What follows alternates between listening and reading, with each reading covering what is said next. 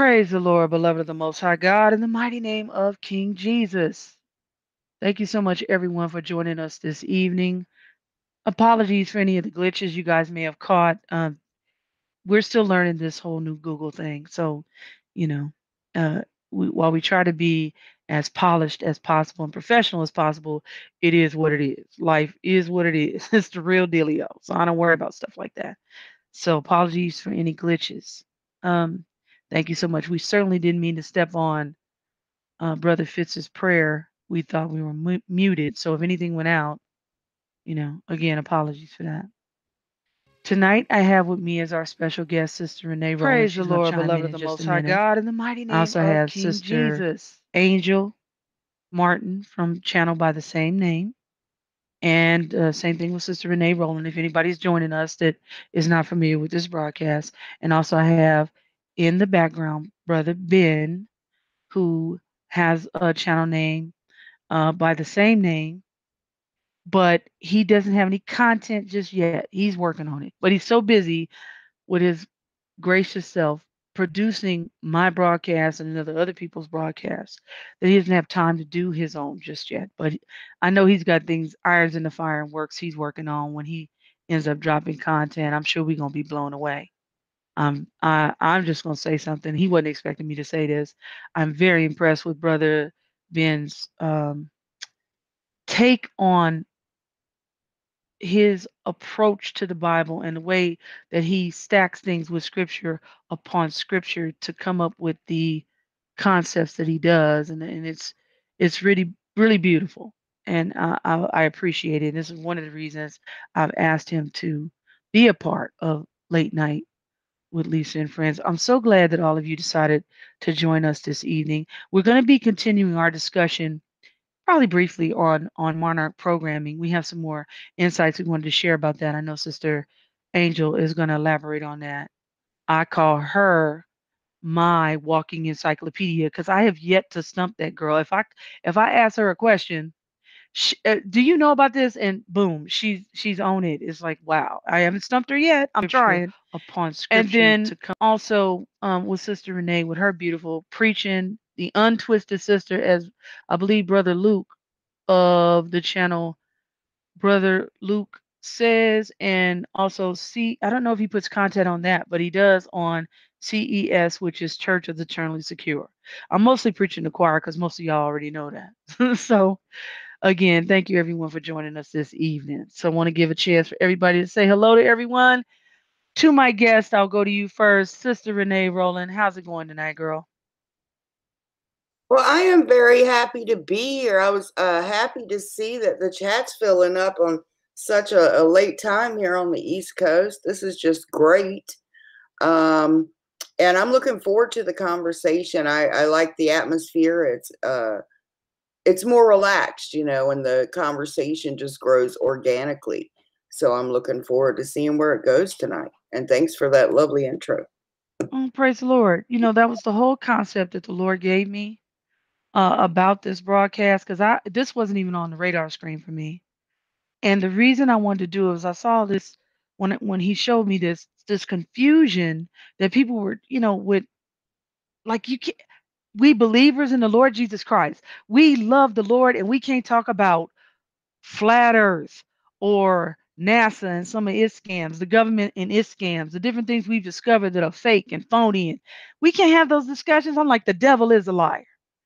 And so that was the concept that we could come together at the table as believers, sit and have a cup of coffee or whatever your favorite beverage is, and just talk to one another and let the audience, the people of God, listen in as we're having this discussion.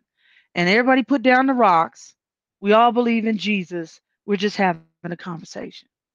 Sister Angel, how you doing back there, girl? You didn't fall asleep on me, did you? No, never that. Um, no, I'm doing good tonight. Just uh, excited as always to be here on Saturday. And yep, we're gonna have a kind of a free form discussion, I guess. But uh, we we're probably just gonna touch on a few things we didn't cover last last week, um, and then see where it goes from there. Praise the Lord. And also to my man of many words back there, Brother Ben. Hey everyone, it's good to be here. I'm always but always love this conversation. Um, I like how you likened it to a um, you know, just a, a couple of friends getting getting gathered around a table, uh, and drinking coffee and, and shooting uh shooting the breeze. so I, I love right. being here. Looking forward to it. Amen. Yeah, we dropping the rocks at the door. I said, I just I couldn't. I was like, this this this mess has to stop.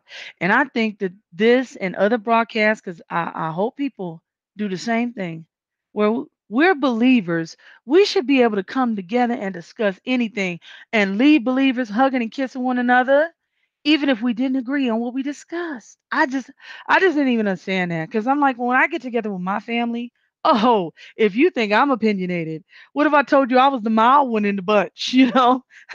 so we get together, we don't get together and beat each other up and everybody leave with a bloody nose and a black eye. Come on, who gonna do that? And I'm seeing this over and over again, different and I, formats and channels, and, and and it's okay. People can do what they want on their channel. That's their business. But I'm like, as believers in the Lord Jesus Christ, is this what we're supposed to be doing? That we can't sit up and discuss these different things and discover and and and share what we've learned and what we discuss. So uh, look, a person can receive it or don't. It's always your option. It ain't hurt nothing. so that was the whole concept, and I'm glad that everyone here has decided to join us this evening. Thank you so much just, for your time, beloved. Thank you so very much. Salutations to everyone out there. So, Sister Angel, I'm going to let you take it away, girl. We're going to pick up with the conversation that we left off with last week because we kind of cut the Mon- Monarch programming discussion a little bit short because Sister Renee has to go early. She has to get up for church in the morning. So she'll be leaving us again early tonight. This broadcast will not go on as long as it normally does. And one of the reasons is I try to I try to be cognizant of what's going on, not only on in the lives of the people who here on the panel at, at this roundtable discussion, if you will, but also uh, the fact that oh, we're all undergoing a lot of stress right now with all the craziness that's going on in this demonic world we live in and just the busyness of our daily lives. And I don't want anybody to be overwhelmed. So if we have to take a time out, cut things short, we're going to be considerate of one another. I always try to do that. So that's one of the reasons we're not going to go on as long tonight. So go ahead, Sister Angel, take it away in continuing the discussion on Monarch programming. Well, um, so I, I, just thought it might be pertinent to mention a few things that um, I thought other people might be able to use. Uh, not, like I said, not to go on a witch hunt and try to figure out if people they know are, are mind control programs, but um, things I wish that I had known, uh, uh, you know, because like, uh, like I explained last week, I, I, I found out that I kind of grew up in sort of a, a, an MK Ultra hive or something where there was a, a whole lot of it going on and a whole lot of people I went to school with had uh, you know been subjected to this stuff. And um, and there's ways that like there's commonalities that you know retrospectively i i was able to to notice and really you know try to kind of you know detect it in the future because um you know this is it's spiritual warfare. Like you know the, these people that are involved in this i mean they they have they're dedicated to trying to uh I think you know in a lot of cases, um, not not not just harm other people and trying to you know sow uh, strife and you know and you know and curses and uh, and and also to you know create more people like them. Like I said, you know, I was kind of targeted.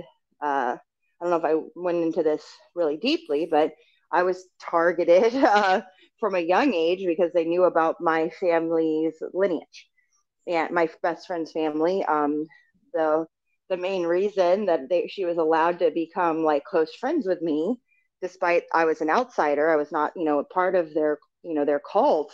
Um, and normally that would be, you know, that you know they would try to keep her, you know, away from from somebody that was not involved, so that you know, no, there would no, be no risk of somebody finding out, right? That wasn't involved.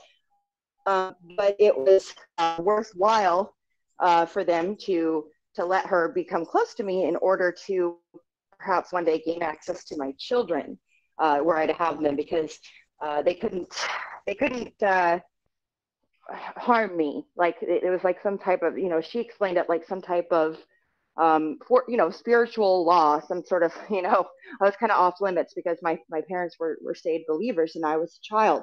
So I was under their their headship and so they weren't you know i was over at her house just for the night you know i had no idea the danger i was in with those people. I um you know I, I i i was really close to her family but they never they never harmed me at least in in the sense of you know being abused or anything like that because they weren't uh, allowed to uh, from what she told me they weren't allowed to spiritually. Although you know i do believe that they they cast uh, spells and stuff. They you know they they i think the reason I had sleep paralysis most of my childhood was probably to do with with my association with her and her family. Um, I think they probably uh, worked on me in that way. Uh, you know, maybe some types of curses or whatever, but they never actually like directly tried to program or abuse me. And they they had access to me ever since I was in preschool.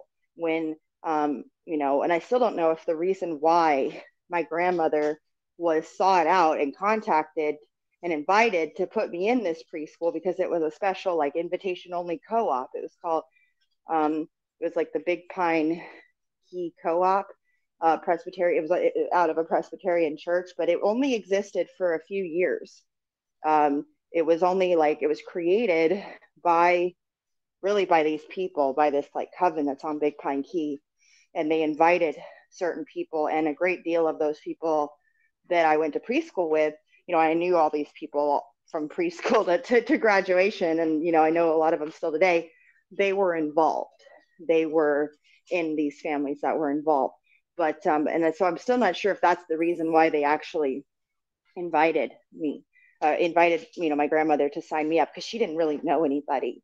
She wasn't, uh, you know, she, she, you know, she, we lived in a pretty remote area in Sugarloaf Key, and you know, she, uh, we were kind of insular, so it was weird that they sought her out to invite invite her to to enroll me there. Um, and uh, even when I was a kid, I mean, I knew like two of my teachers, like they were open witches. You know, what you know, I guess we thought of it as like some hippie thing, right? So that's the number one. Number one is that um, a lot of these families that uh, were involved in this stuff and you know kind of in a, a coven together which I have touched on before, like, you know, I'm not just making this stuff up. If you look up the serial killer, Charlie Brandt, uh, B R A N D T, uh, the murders that were attributed to him were actually committed by him and the rest of the cult. He was actually really close friends to my friend's parents. They call him Charlie. I think his name is Charles. They call him Charlie. And um, and anyway, he tried to leave the cult and uh, like 20 years later, he tried to, because these were unsolved at the time. And about 20 years after they happened, which they happened in the late 80s, early 90s, he tried to escape during a hurricane evacuation. He tried to use that as an excuse to leave the Keys, um, which apparently they were not allowed to do without leaving a, a family member behind as collateral. He tried to, to take his whole family and leave and get away. And that's when they killed him in such a way that it made it look like he had killed his family and himself uh, and that you know it would end it would kill two birds with one stone. He would be taken care of for trying to leave but also the police would think they solved these unsolved cases because the very particular mo that was used in the series of ritual murders which are reported on i mean they were they were uh, considered to be like satanic uh, ritual murders in the keys. There's even like a tabloid headline like Satan in Paradise that you can find on the internet uh, discussing the, you know, back when these uh, murders occurred, when they were still unsolved. And um, anyway, the MO, I won't go into exactly what it was, but it was really specific and gruesome. And that's how they killed his family. And then they made it look like, you know, he killed himself uh, after killing his family, you know, out of guilt or whatever. But it, you know, the cops pinned all the murders on him to where he was the serial killer and you know because of the mo that was used to kill his family. And anyway um, so that's one way you can kind of verify what i'm saying. Like there's some some point of reality that i can show you that uh, doesn't necessarily reveal the identities of these people that i'm talking about um, like my friend's family and stuff. But um, anyway um, the way that these people came off the way that you would kind of write off a lot of you know anything weird that you might know about them is that they came off to be like kind of like hippies like kind of like boomer hippies you know who maybe went to woodstock when they were younger and they just never totally grew out of it. And so they were into like you think like new agey type stuff or or or whatever you know and they might even say that they're into wicca but um, in reality they were into much darker things and that was kind of just the front but it was a great way to explain away anything strange they ever said or anything you ever found out about them, you just kind of shrugged it off like they were into weird hippie stuff, right? But they were also like pillars of the community. They were not, you know, just like like they weren't like low lives or you know uh, low class people. They were you know well known, well connected people in our community. They you know you would almost not even believe that these were the type of people that were involved in this stuff. Um, now, when it comes to spotting like a lot of like especially with the children the younger the kids people my age um, people that uh, you know I, I, later realized or found out directly were involved um, in this stuff and, and you know born into this um, uh, and, I, and I've, I've talked to other people too who've, who've had made this discovery in their own lives. Even people in this uh, very uh, congregation who've had very similar experiences to me um, and you know these are kind of consistent themes. Um, a lot of times especially if they're men uh, they male they'll have some sort of military connection. They might have been in the military but um, but if if not now that you know and i think that's probably actually more rare than the more uh, than the people that are not that you know don't that are that just remain civilian.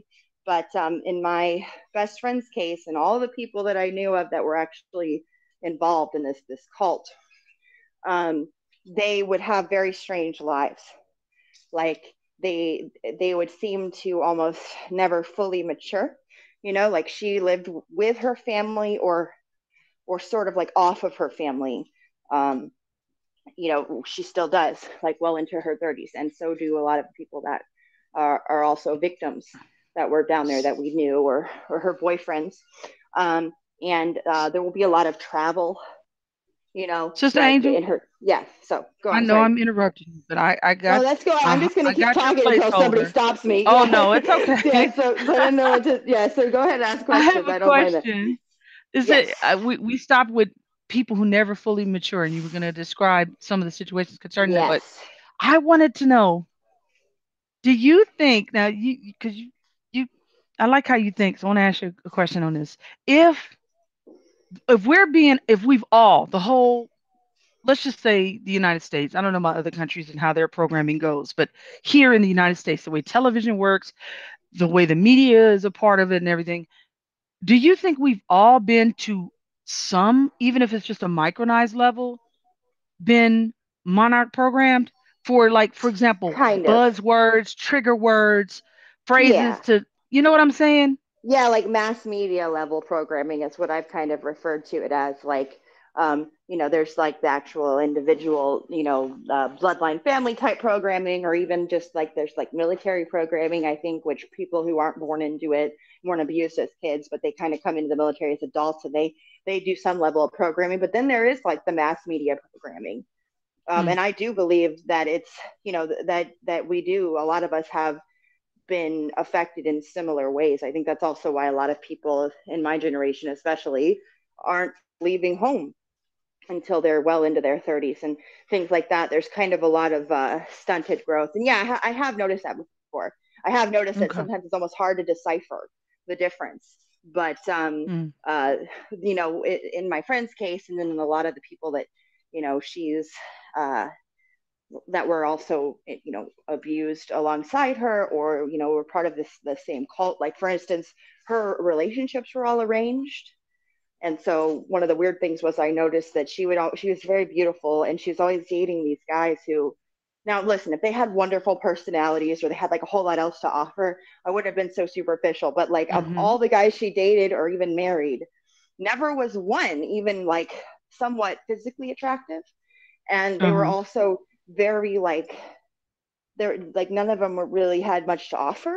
and a lot of times she was mm-hmm. actually supporting them off of you know her family's money which it didn't seem like her family was like rolling in dough but that was another thing they just sort of seemingly had unlimited funds even though they didn't live an extremely extravagant lifestyle, but it was so it was weird. Like if you were to try to gauge how how much you know, let's say expendable income they had just from looking at their home and their lifestyle and their vehicles, you would have thought they were just you know. Now in the Keys, everything's very expensive, so it's a little bit harder to to notice. It's not quite the same as as you might how you might class other people in other areas of the country, but um, uh, you know, you would think maybe like solid middle class, maybe a little bit upper middle class, right? But they had, you know, no limit of money. Like they were, you know, she was mm-hmm. she was living in England for two years with an apartment. She had an apartment and she didn't, I mean, she kind of worked here and there, but she'd always end up quitting her job or have some emotional breakdown. And um, and they were footing the bill for a flat mm. in Leeds, England, for no reason, right?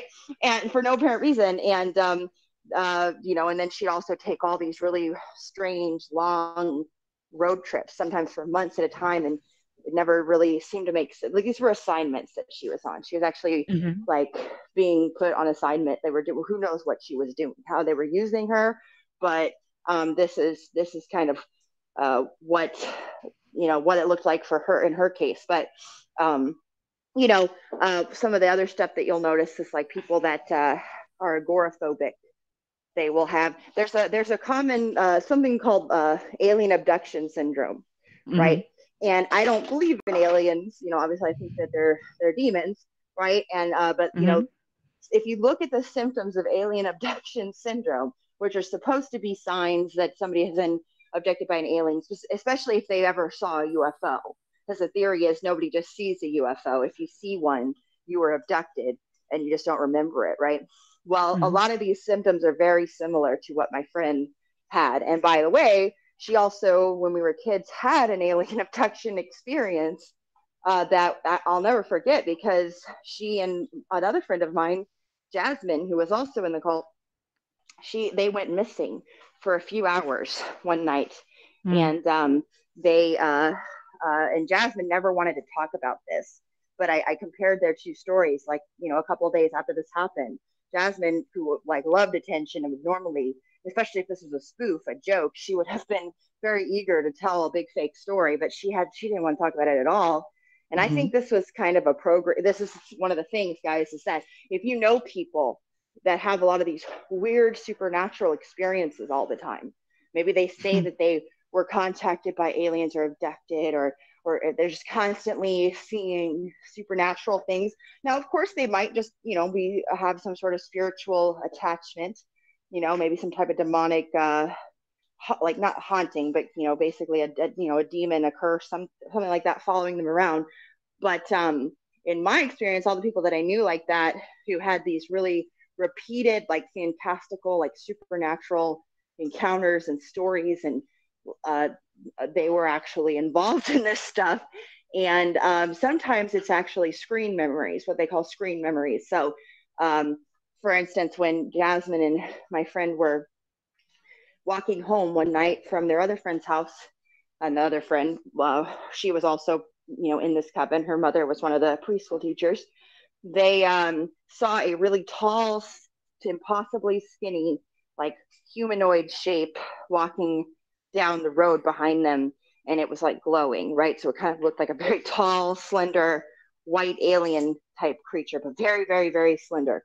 And, mm-hmm. um, you know, then all the streetlights started going out one by one, leading up to them until like the final one that they were under, you know, was the last one. And they went and hid behind some trash cans uh, and this thing was like pursuing them and um, they uh, the, the last the next thing they remember is waking up in her bed uh, mm. together and and so you know I, I I remember hearing this story when we were kids, but then of course later on when she told me about it, you know, once we were grown ups and we had figured all this stuff out with her and her family, you know she she said she doesn't know if it was actually a real memory or if it was a screen memory something that they implant in your mind to cover up the memory of a programming session mm-hmm. so that they'll do that so that if you start to to remember anything weird happening from that day or that time you'll you'll have this this this false memory that is also very fantastical and hard to believe so it will discredit you you see what i'm saying So a lot of people that will have, you know, if you listen to these supernatural, paranormal like podcasts and stuff where they'll have guests talk about their experiences, these people that have had a lot of these experiences ever since childhood, very suspicious of. I'm very okay. suspicious of whether they were actually uh, a victim of ritual abuse. Because, okay, let me let me stop yeah. you here because you said a okay, whole lot. yeah, so yeah. I want to give Sister Renee yes, a chance yes. to come in, and I wanted to ask you, Sister Renee. Girl, have you ever heard? I know we heard about Monarch programming because we saw the movie Manchurian Candidate, which right. we would say is probably one of the extreme forms, as Sister Angel's describing, where they've taken people and mm-hmm. actually programmed them and done these things to them. Well, what things do you think you've seen in your life? Because I know you were connected to Hollywood and for a period of time and and saw certain things. Are are there any things that you saw that you can share that would give insight as to some of the things that Sister Angel has just shared with us that maybe you saw? Well, uh, I'll tell you the real, real high up ones. I only knew on a superficial basis. Mm, uh, yeah. celebrities that I was very close to, they had already had the damage done to them by the time they were in my life. Like Corey Haim, he, he lived mm-hmm. for six months, but that was right before his death. So, um, I I don't know any person in Hollywood directly for certain that has been programmed. Like I don't want to say that is true because I, I just cannot confirm it. And I have not right. had anyone close to me say it. So I want to be careful about that. But um, I will say I know that there it's a very sick environment. Um, poor Corey, he he couldn't read very well. He basically when he did Lucas, I think he was 14 and they were supposed to have a tutor on set and they did but the and all the you know all he had to do was say you know get out of here and the tutor's not going to fight. He's not going to make mm-hmm. him work you know? And what kid wants to do that when they can be fawned over by sycophants all day on the set? And so this is why it broke my heart because I, have seen so many people do videos like against him, claiming he was a Satanist and all this, and it was a lie. It was a flat out lie. And his mom lived for him. Judy adored this boy. And I just remember him being in a bathtub in my house, looking like a little kid who could barely read, who was popping Valium like they were candy because his nerves were so bad and no mm. movie studios could even insure him because of all of his potential for overdose. If they start a film, well, they can't be sure he won't die. And so nobody wanted to insure the movie because you can lose millions mm. a movie and can't finish it. Mm. So he was stuck not being able to get work. And, and what else is he going to do? And uh, then if he get a chance, like he got that little uh, reality thing, then he would he destroy himself because he started getting money again and started getting fame again and and so it was just this vicious circle and my my thing like i i know i don't know corey feldman i talked to him on the phone a couple times i met him in person i think three or four times uh because corey was you know living with me for a little while. When his mom was up in canada so when he was in in town he stayed with me. When he was in the, the states but apparently, Feldman had a lot of uh, people molest him or something, which he came out and said. Now, Corey never divulged uh, anybody molesting him to me. Mm-hmm. Uh, but I get the impression that he was exposed to sexuality far too young and that he saw things that he shouldn't have seen at his age. Um, mm-hmm. uh, I his whole childhood was stripped from him. The the the studio system chewed him up, spit him out like a product, and when he was used up, they kicked him to the side, mm-hmm. basically to die. Now, it, it, it was really heartbreaking to see because he really was just a little boy.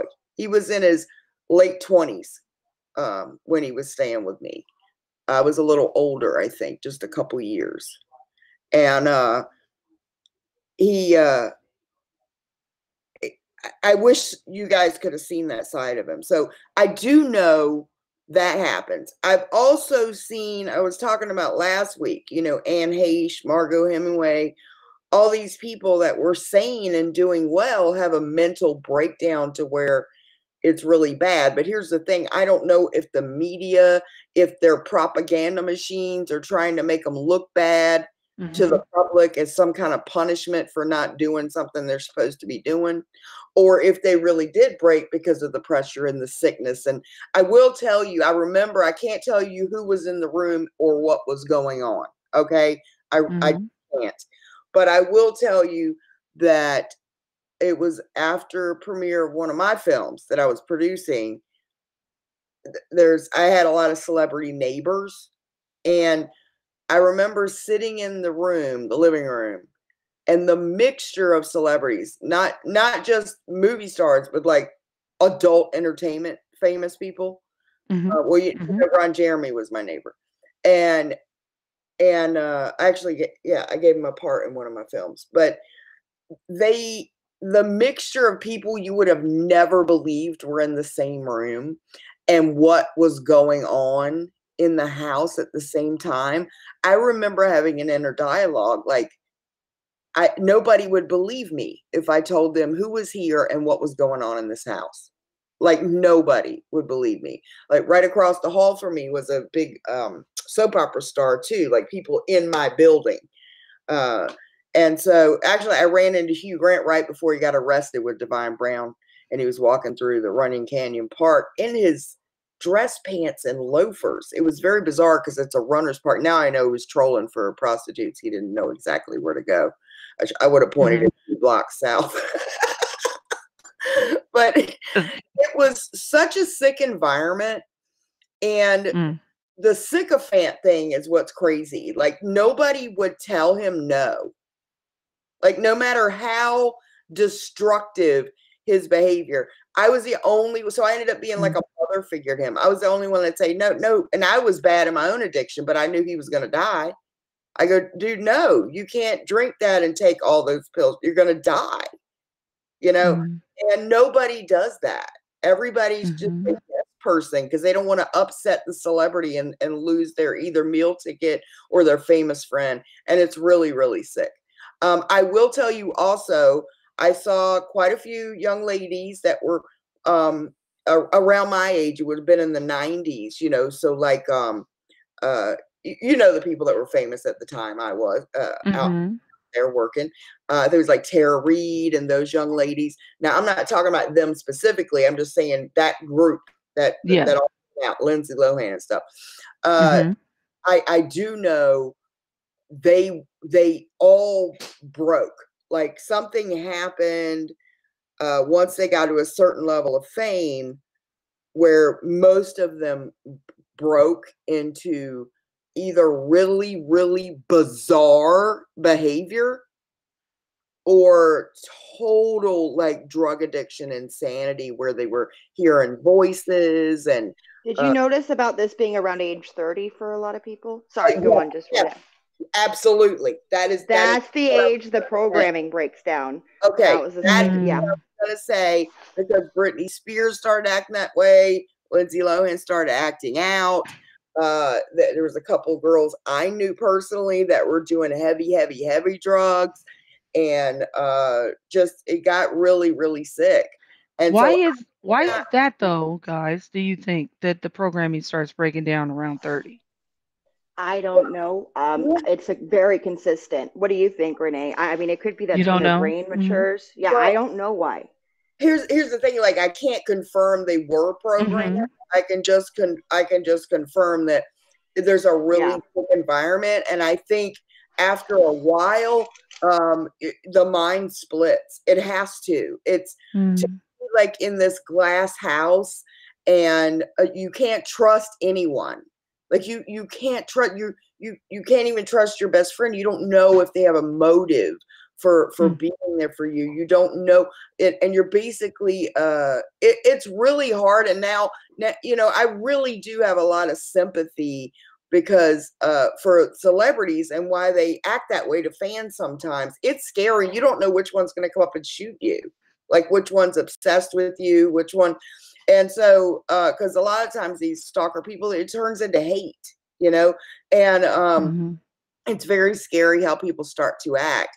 So I, I, that's a really interesting thing, Angel, because it really is around that age that I saw a lot of them either leave the industry and go into seclusion, like they decided mm-hmm. they wanted to get into yep. something and leave the industry altogether. I don't know if they were given an ultimatum, you know, and they just chose out, or uh, they just could they they couldn't handle it anymore, or if somebody, you know, uh, I, I just know a lot of them, a, a large handful of them really broke down and there's mm-hmm. bizarre behavior happening and mental breaks. You know, I said before, Anne Heche is a very intelligent woman. And okay. for that to happen, I don't know if you guys knew she's wandering around in some strange lady's yard and like didn't know what yep. was going on. And she said a bunch of other weird stuff too, I think about yes. aliens and stuff. Yes, it, it, it's a paranoia that is done. So I, I really don't know. It seems to be worse in the ones that grow up as child stars. It does. Mm. It seems like the Disney kids, they seem to have it pretty bad. And uh, one of my best friends, she was a, a, child star. She was a character actress, and she did like Wonder Years and uh, uh, something to Heaven, whatever that show was with Michael Landon. And uh, she left.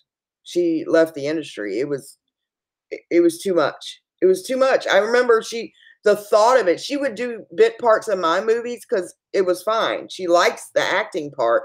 She just didn't like the, the it traumatized her to even mm-hmm. having to go out and meet people for the role. Like something happened to where she she couldn't handle having to meet people uh, to get cast. So uh, I think these kids are exposed far too young to sexuality. I know that poor what's her name that did the Wizard of Oz. She was older. She was in her 20s when she did uh, Wizard of Oz, but Judy Garland. But I know that they they that poor girl they would starve her. She couldn't. She would only be allowed a broth. She had a lady with her mm-hmm. 24 hours a day that controlled everything she did. And I imagine a prison. So that's that's the part of the the Hollywood scene I know about. I mm-hmm. cannot speak to you know legit programming but what let me tell you here real quick is that if you want to know what's going on i believe hollywood's telling you so when you look at these movies and just uh, like i said last week a couple popped in my mind the movie split the movie manchurian candidate and then uh, just tonight on uh, uh captain america they have that winter soldier where they string a few words together you know like mm-hmm. um, uh, benign 17 freight car and and it's just like uh in split in split they said his name wendell crumb kevin wendell mm. they say it like in a specific way and they string these things together and their mind snaps to another alter and that's mm-hmm. three just off the top of my head where they're showing that so there must be something to this it's some mm. you know what i mean yeah. yeah. and it's right. like it's not like something that people normal people can relate to at all so it's always so seems so random like but they show it to you repeatedly as if it's normal to to have like to where we'd have some sort of touchstone or or, or like reference point for this but we don't only from other movies but i have noticed too like um like that my best friend that's what happened to her around uh, in her in, when you know late 20s um and right around when she and i turned 30 that was when everything started to really go haywire. Like she, um, you know, was having, she was, she was recording herself getting up in the middle of the night, going to her computer, uh, uh, talking and doing really weird things in the camera. And um, she was basically, you know, I started seeing this this spirit, you know, that was that was attached to her, and she was like getting Baker acted and stuff because of this this spirit that was um, like harassing her and you know she thought she was hallucinating or something and um, everything just started to, to, to, really go bad and a lot of times these people will end up getting institutionalized around that age um, you know, and that's really consistent. We've seen that a lot in, in Hollywood. So I, mm-hmm. I, uh, I think it's, I, and I, I agree, Renee. They tell it to us. They show it to us all the time. I saw when my friend would change alters, which you know I never noticed or, or realized that was happening um, growing up. Although I do remember the time that you know, sorry to be graphic, but the time that I thought I thought I don't think this is actually, I don't think she well let's just say I don't think it was her first time, but in at the time I thought it was. It was she. We were like 14. We were over at our friend's house, and here's a really really weird thing. Her her stupid annoying older brother that we all hated suddenly like put Jay well my friend in a trance like state by saying mm. I don't know what he said to her, but she changed, and he was he he was able to beckon her to his bedroom, and I and our friend we were physically trying to like restrain I, I, was mainly i was trying to get her out of that bedroom. I was fighting i was fighting him i was fighting them because i'd never seen her like this. Like i knew she didn't like him and i, I and i knew that um he was disgusting and i knew that he that, that he was coaxing her to go he was like you know mm. 17 she was a at the time i thought at least that she was a virgin and he was somehow coercing her to go sleep with him in um in his room. And it was so weird because she was in a complete trance. And i couldn't understand why she was acting this way. I, like she was just she had a dazed look in her eye like she was a zombie. And so to, that's why i was trying to physically get a hold of her because i knew that that was the only way i was going to be able to like she wouldn't have resisted me because she wasn't acting autonomously but she was just kind of like zombified following his dis- instructions to come into mm-hmm. his bedroom and i knew that if i could just get a hold of her and yank her out of there I could get her, you know, I could like I felt like I was saving her. Um, and I'll never forget. It was like an hour. I was standing outside of that bedroom door arguing with him, uh, trying to get him to get to let her go to, to put because I, I, I couldn't understand what was wrong with her. And I thought, mm-hmm. is she just this much of a people pleaser where she can't suddenly she can't say no? She can't tell him she doesn't want anything to do with him. It was so weird. And now I mm-hmm. realize he triggered her. He knew he knew. Like I think that that friend of mm. mine mm. and ours, I think their because their family was weird. They had a weird family, and um, I think they were part of this cult. And he knew her uh, trigger words, and he used them. And um, he just didn't. He underestimated how tenacious I was. So he should have. He shouldn't have. You know, made it so obvious in front of me. But I ended up. I had to give up. I couldn't get a. I couldn't physically get her. He was. You know, she was in his room, and he wouldn't let me through the door and and mm-hmm. I, will never forget how upset I was because I thought she lost her virginity to this horrible, uh, just idiot, like this jerk. I, he was so he was awful, man. He was awful, and um and just like a loser. Oh, he was gross. And I knew she didn't want anything to do with him, but you know it was so weird.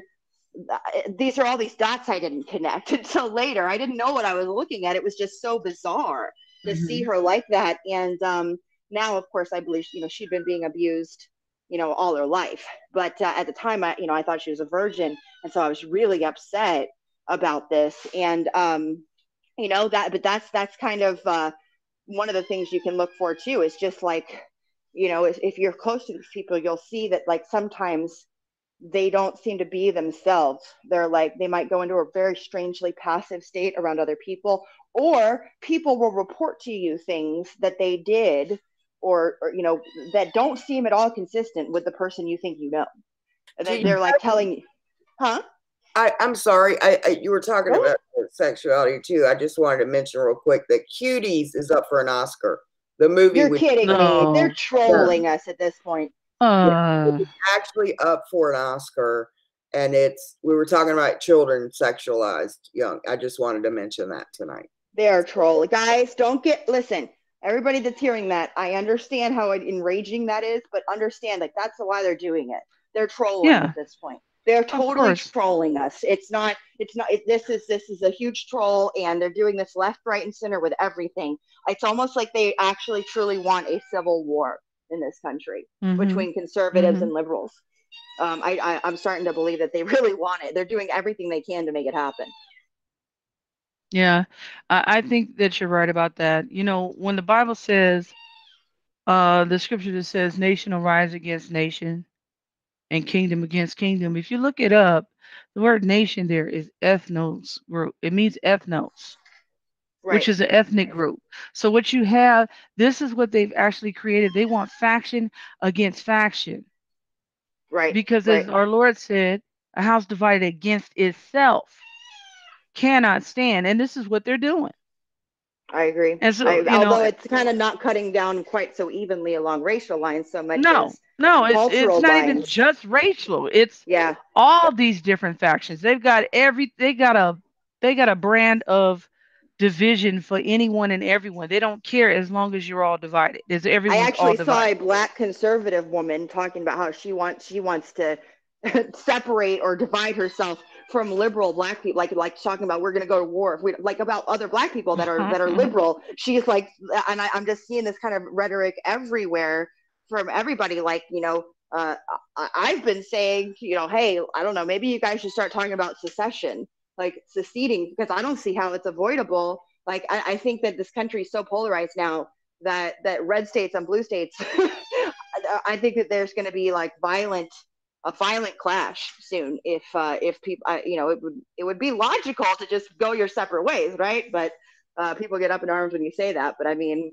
i don't see any other i don't see that we could avoid bloodshed if, if I know that's what stop. they want. yeah I don't know how practical it is in in real life because when I'm out here just conducting my business, I'm Right, not seeing all that craziness.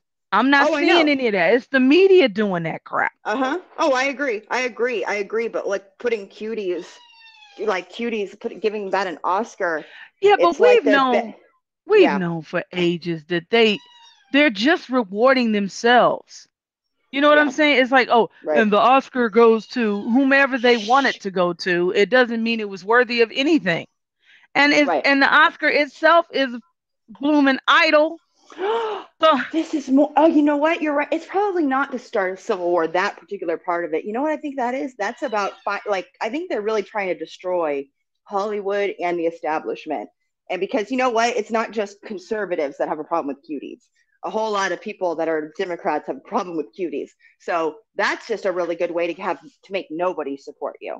Like everybody, I, really think they're like intentionally playing the villain. I really do. I mean, that's just ridiculous you could because there's so many liberals that came out against cuties that I don't think that um that it would that yeah, that but issue, you know, there's another Jedi mind trick they do with that.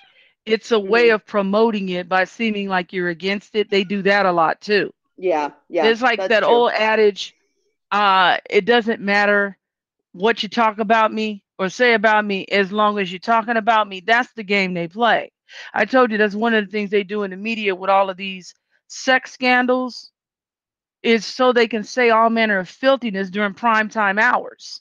Because if they say we're reporting the news and in in their so-called script, if you will, of what transpired, if it's made up, if they say something filthy, they couldn't do it before like in regular programming but if they call it news they can say we're just reporting the facts and so at 6 a.m in the morning your little child sitting there getting ready for school or sitting there eating breakfast if you have the tv on the background listening to the so-called news they get to slide that old filthy nasty word and then that child hears it i'm telling i know that's the objective they have i know it in my descriptions of sexual assault. I've seen like I've noticed Yes. that more and more. It's like totally unnecessary Yes. details.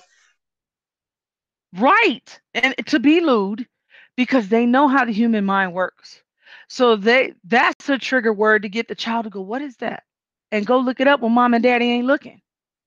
I'm telling I know this is how they operate. But this is what they do because they didn't do this. They didn't do this stuff 25, 30 years ago. They did not do it. They would just say this person was assaulted, blah, blah, blah, whatever their claim was. And they didn't go into details. If you wanted details, you'd have to go read the court manuscript but or they're if they did a tell-all book that's another one.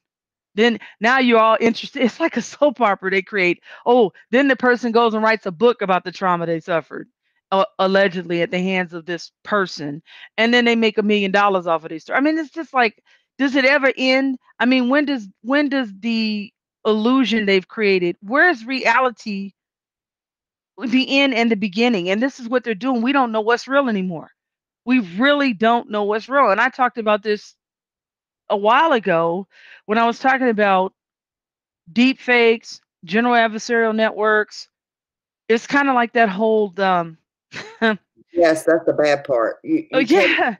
There's so much disinformation on purpose. So yeah that on purpose playing with our minds literally remember Yeah. what we said about that cia director that said yep. "We'll know our mission is complete when everything the american people believe is a lie Yeah. well and they won't believe anything. Like I have a hard time believing anything in the media. which is dangerous in itself yeah, because then it's something Right. real real if somebody really is suffering trauma and really is suffering violence Yep. we don't know what's real anymore that's right. I I have a, I'm very skeptical of stuff when I hear people on here claiming to be whistleblowers and talking about celebrities and stuff. I went like the one guy that did that video about my friend. I was like, why do you know this? Where do you get your info? He's never been in the industry, didn't know anybody in the industry, didn't work in it, didn't even know him. So, see what I'm saying? You, Yeah. check these sources. Um, not saying it's all not true. It's just it's so hard to sort through because people come out and act like they're an expert on things, and you gotta you gotta you know nobody's unless they have like a name and say I know them from here and this is this. You know, it's very rare somebody will do that. Uh, and I, I don't really want anybody to be hurt publicly that's been victimized, you know, to have their information. right The thing is, uh, they they want it to be this way, to where I can't believe anything. Like I don't believe anything the news tells me.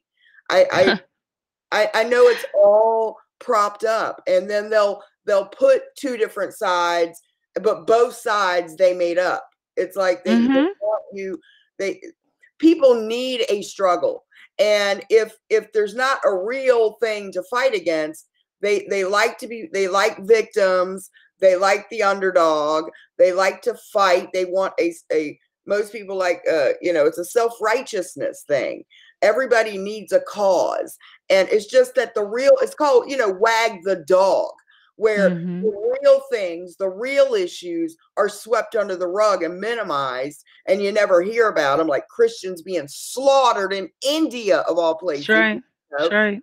and if you do put the information out here because you've been checking uh, um other countries news then they will take you down for hate speech for saying that christians are being slaughtered but they will give you some ridiculous thing to get you upset uh, fighting over gender bathrooms they they want you to look over here while they wag the dog and then you never Yeah.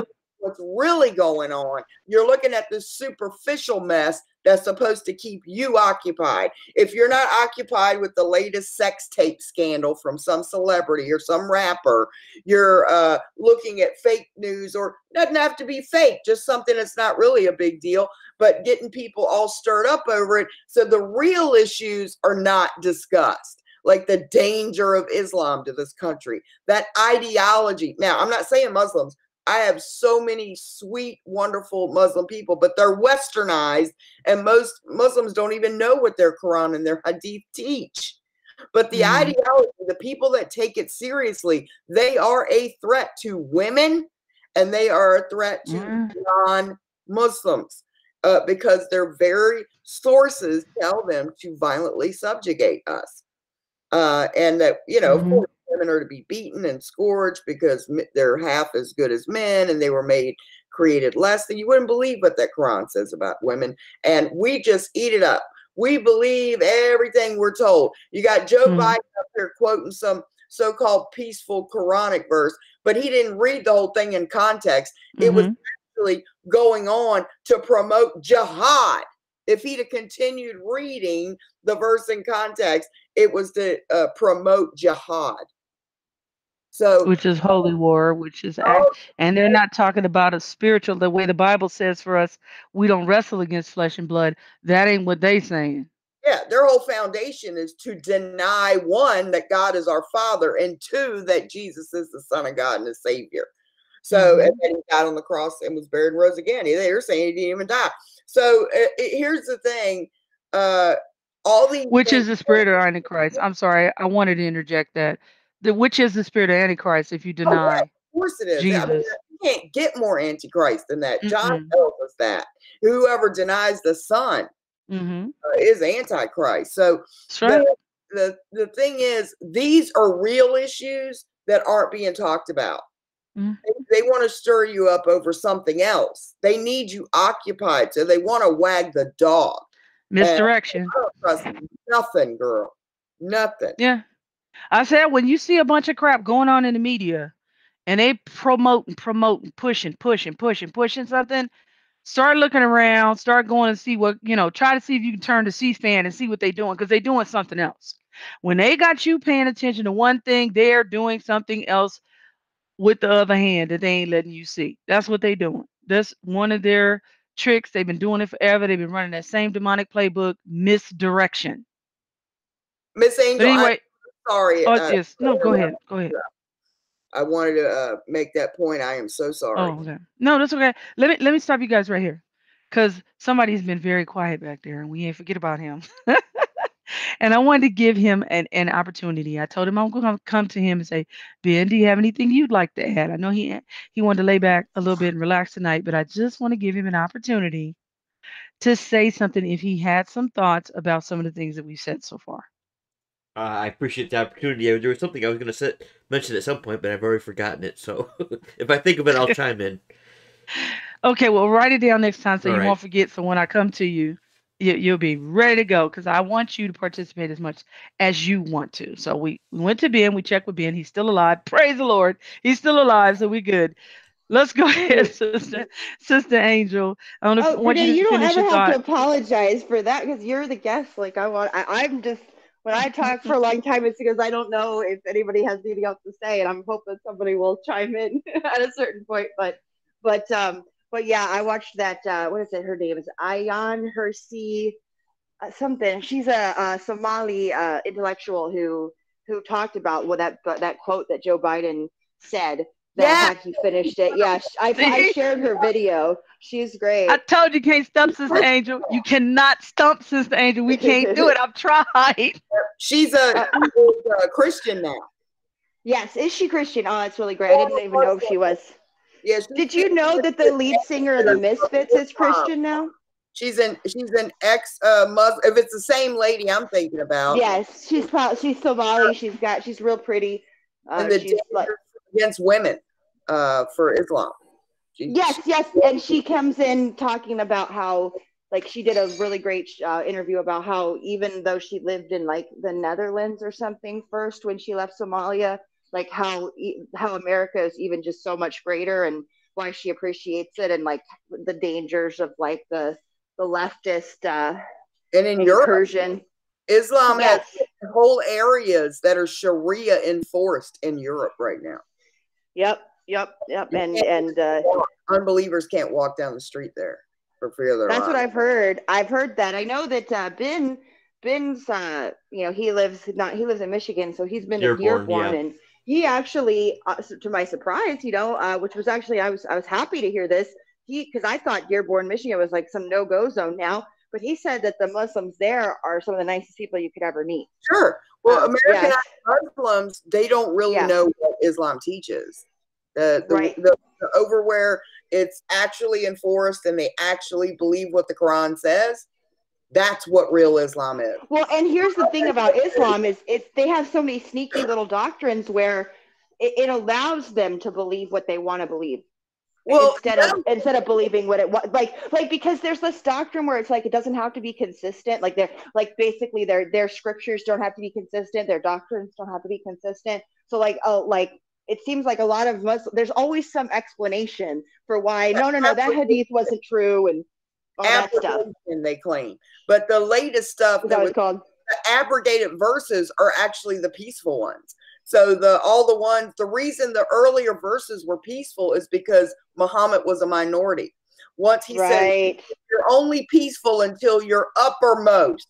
So once you have control, the majority control Yep. of an area, now you enforce and violently subjugate. And if the Christians and Jews will not convert, you pay a jizya as a second class citizen, protection money.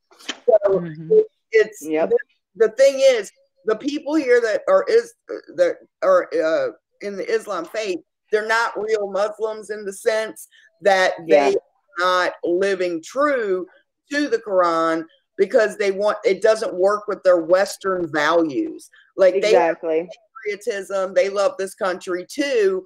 And so if they were to really live by the hadith and the and, and the Quran, what they try to do is change what the verses mean to get around or say it's been abrogated, but they, they can't really do that. Uh, so yeah. the, the good Muslims are ISIS and Al Qaeda. They are being uh-huh. faithful to what their seventh century caravan robbing pedophile uh, uh, prophet was. I mean, let's right. just get torture money. He advocated rape. He advocated temporary prostitution, three day marriage, give him a garment or some money after three days. That's prostitution.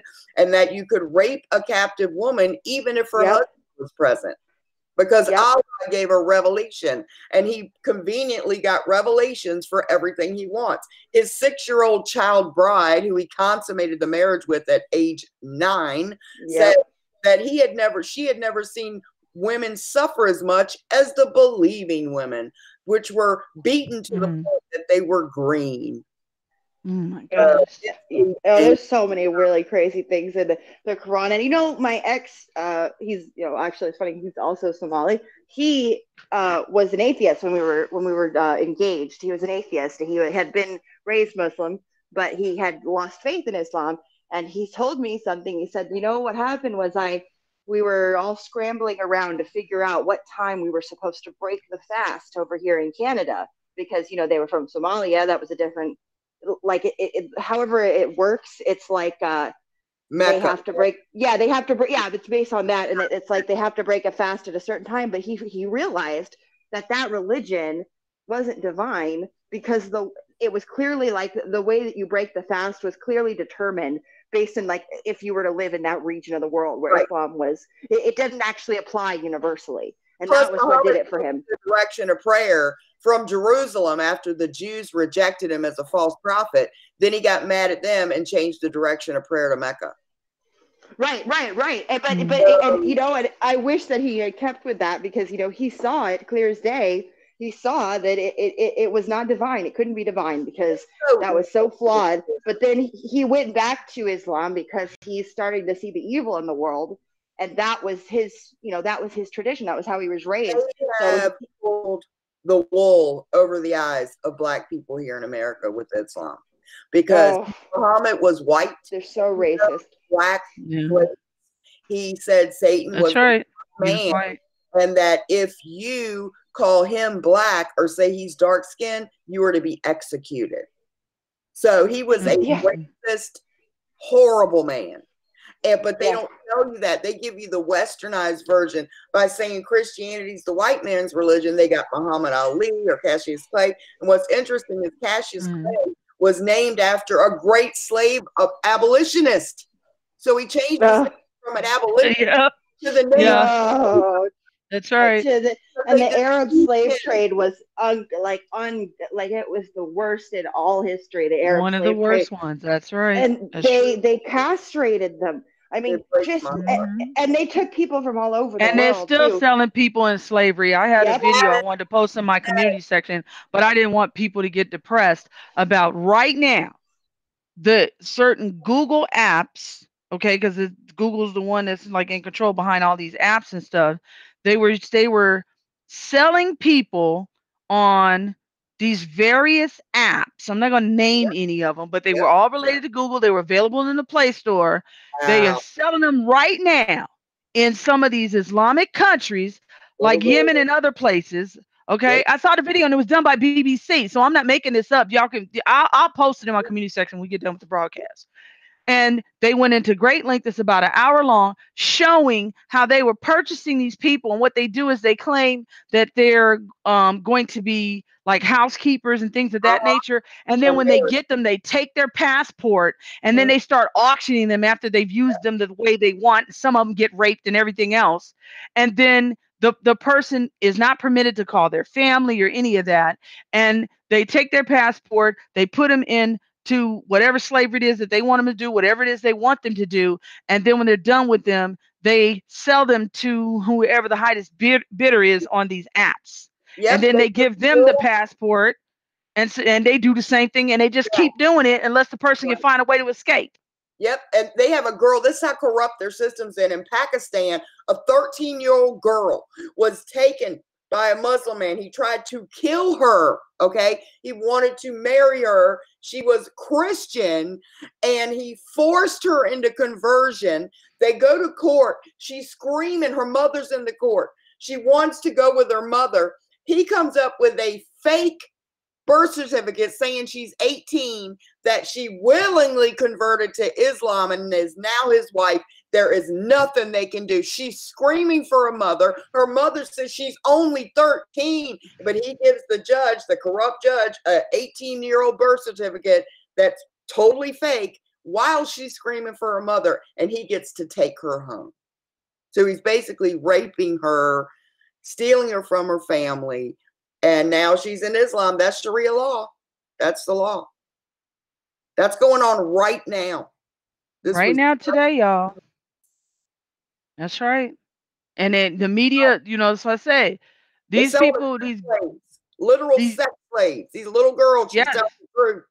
and they wear them out. If they, they're lucky if they find a man to marry them after they've been used up. That's their lucky chance that somebody will marry, some Muslim man will keep them. But they just sell them and sell them either into servitude, like she said, for labor, and usually the women have it the worst. They're they're sold into sex slavery, like those little girls, the Boko Haram girls. Remember that? Mm-hmm. And it's because they're yeah, corrupt, support it. Don't let anybody tell you it doesn't or tries to twist these things up. There's I've looked at Ibn Abbas, I've looked at Sahih Muslim, I've looked at all those hadiths, and they all confirm what's going on there. He was a wicked man. It is the easiest religion to prove false. Uh, and it was set up by the Catholic Church, and they don't even know that. Uh huh. And, and the dream or the vision, the trip he had to the farthest mosque, supposedly Jerusalem, where he went to the farthest mosque, there wasn't even a temple there in the sixth century. I mean, that's easy to, to show that's a lie that he went there and describes the mosque and all that. There was nothing there. It was rubble from 70 AD. So the they try to say Abraham and Ishmael built the Kaaba. That thing was built a thousand years after Abraham lived, 12 yeah. miles away. They do everything to try to make it look legit. The Quran says to refer to our gospels and the and the Torah to confirm the Quran, but when they go to ours, it says uh no, he's basically a false prophet. So what do they say? Your your scriptures have been corrupted. It's just mm-hmm. it's so easy to prove false, but they will not hear. They are so indoctrinated. They won't. Well, it attaches to their pride too, because it's not just a religion; it's like a culture. It's like their whole identity. It's not like in other in other religions where it's kind of your religion and it's sort of separate. They, they, their entire I, their identity, their whole like everything that they think they are is well, tied up. theocracy. Their government is Sharia. It's based mm-hmm. on their religion. Yeah, and it's that pride where you're telling them, no, you're wrong, and everyone you ever respected, your family, family all your people are wrong. Or kill you. The honor killings. We had uh, one here. The father killed both daughters here in Texas. Uh, and they were getting too westernized. And uh, the African gentleman telling his, it was he, Jesus really did a supernatural work over there, if y'all can find that testimony. But his own father uh, was killing him. He, he, told him to drink the poison because he left Islam for Christ. Uh, the Lord saved him supernaturally. You wouldn't believe it. It's wonderful. But uh, that's what they do. They they are told to kill their own family members if they leave Islam. Don't let anybody tell you that there's oh there's no compulsion in religion. Yeah, that's abrogated. That's only until you're the uppermost. Then mm-hmm. there's compulsion. And, and this extremist kind of Islam has like you know with the help of the U.S. government has swept the the world like you know Somalia did not used to have a very extreme form of Islam at all. Right. And now they're having like, like it was very lax. And you know, like my my ex's parents, they knew he was like no longer like at the time he he didn't believe anymore and he was dating me and they didn't, you know, hurt him or threaten him or even throw him out. He was still living with them at the time because uh, they, you know, they came from the time in Somalia where it wasn't uh, extreme like that. It was kind right. of more relaxed. But now they're having these crazy terrorist attacks over there. I forget the name of the Somali contingent of like the extremist Islam, but it's really coming back like all over the place. You know, they're trying to, you know, a lot of a lot of these cultures kind of found a way to tame Islam to where they could actually live, right, and not be miserable. And it wasn't good Islam, right, because you know it is a, a brutal religion, but it was, you know, they kind of just made allowances because they didn't want to live that way. And now, because uh, when the our government and all this um these mm-hmm. neocons they went and all this you know this war that we've we've waged has actually served to they've installed extremists um yep. like Islamo-fascists. Know. Yep. You know, not the opposite. You know, they they, they claimed we were trying to fight it. What they were doing was you know was seeding it everywhere. I have a heart for them. I really do. Me too. My doctor's Muslim. He thinks terrorists are idiots. But th- the thing is, there are many wonderful, peaceful, patriotic Muslims and there are wonderful Muslims mm-hmm. all over the world. But the Islam as a core doctrine is dangerous if you really follow what it teaches. Now, I'm not speaking against Muslim people. There's wonderful, beautiful people, just like there's wonderful, beautiful Buddhists and Hindus. Uh, it's it's not Islamophobia. Yeah. I am a well-informed Christian on mm-hmm. Islam. I am not an Islamophobe. I am not Mm-mm. afraid of Muslim people, but I am afraid of the sick death cult that is Islam by the seventh century caravan robber. He was a false prophet, and his doctrines are straight from the devil. He himself thought he was demon possessed when he got his revelations. And guess mm-hmm. what? His Catholic wife told him no, it was an angel of God. He thought he was mm-hmm. possessed mm-hmm. when it first happened. What angel of I God had, ever come up to? I never knew she was Catholic. I can't yeah. believe Lee never told me that. Maybe he doesn't know. Khadijah is a lot of them don't. Woman. He would have told me that. He would have told me that if he knew that. He didn't know that. He was, a rich very... widow. She was a rich right. widow, his first wife, and then he uh, married Aisha and all the you know when he became a prophet or whatever. He married the six year old, mm-hmm. became his favorite wife, but he didn't consummate it till she was nine. So Ugh, I really, mean, really. Okay, Sister Renee, I'm sorry to interrupt. We got this hot topic going in this conversation. I just wanted to inject something before I remind us of the time here. Uh, that I have met some, as you said, I don't even know if they were Muslim. I'll just say they're Middle Eastern because I didn't ask them their religion. You know, I would be presuming because there are a lot of uh, Middle Easterners that are Christian too that have, have immigrated into the country. A lot of them are called Coptic Christians and some other things. Um, so I've met some really wonderful, nice, sweet. I mean, I've never even met Christians that nice. A lot of these people are oh, so yeah. nice. Very. I mean, uh, they would literally take the shirt off of their back for you. I mean, literally. Yep. So we're not hating on anybody just because they're Middle Eastern or anything like that. That's not what's going on. We're talking about very specific details according to the Quran itself, and they're easily proven. All you have to do is read it, and yep. we're not making it up. Now that being said, Sister Renee, yeah, you, this is your jumping off point, girl. yeah, I know. It's twelve thirty. So much fun. I hate it. 9:30 California, 12:30 out there. I know you're having fun, and you know you're welcome back anytime. I've told you that you have open door, open invitation over here to to come on in. Anytime there's a sane Christian, they have an open invitation. so uh, you are always welcome, sister. So I'd like you to go ahead and say whatever you'd like to say in closing to um, the people before you jump off here. Well, brother Ben, I didn't get to hear much from you, but I'm happy just that you're here.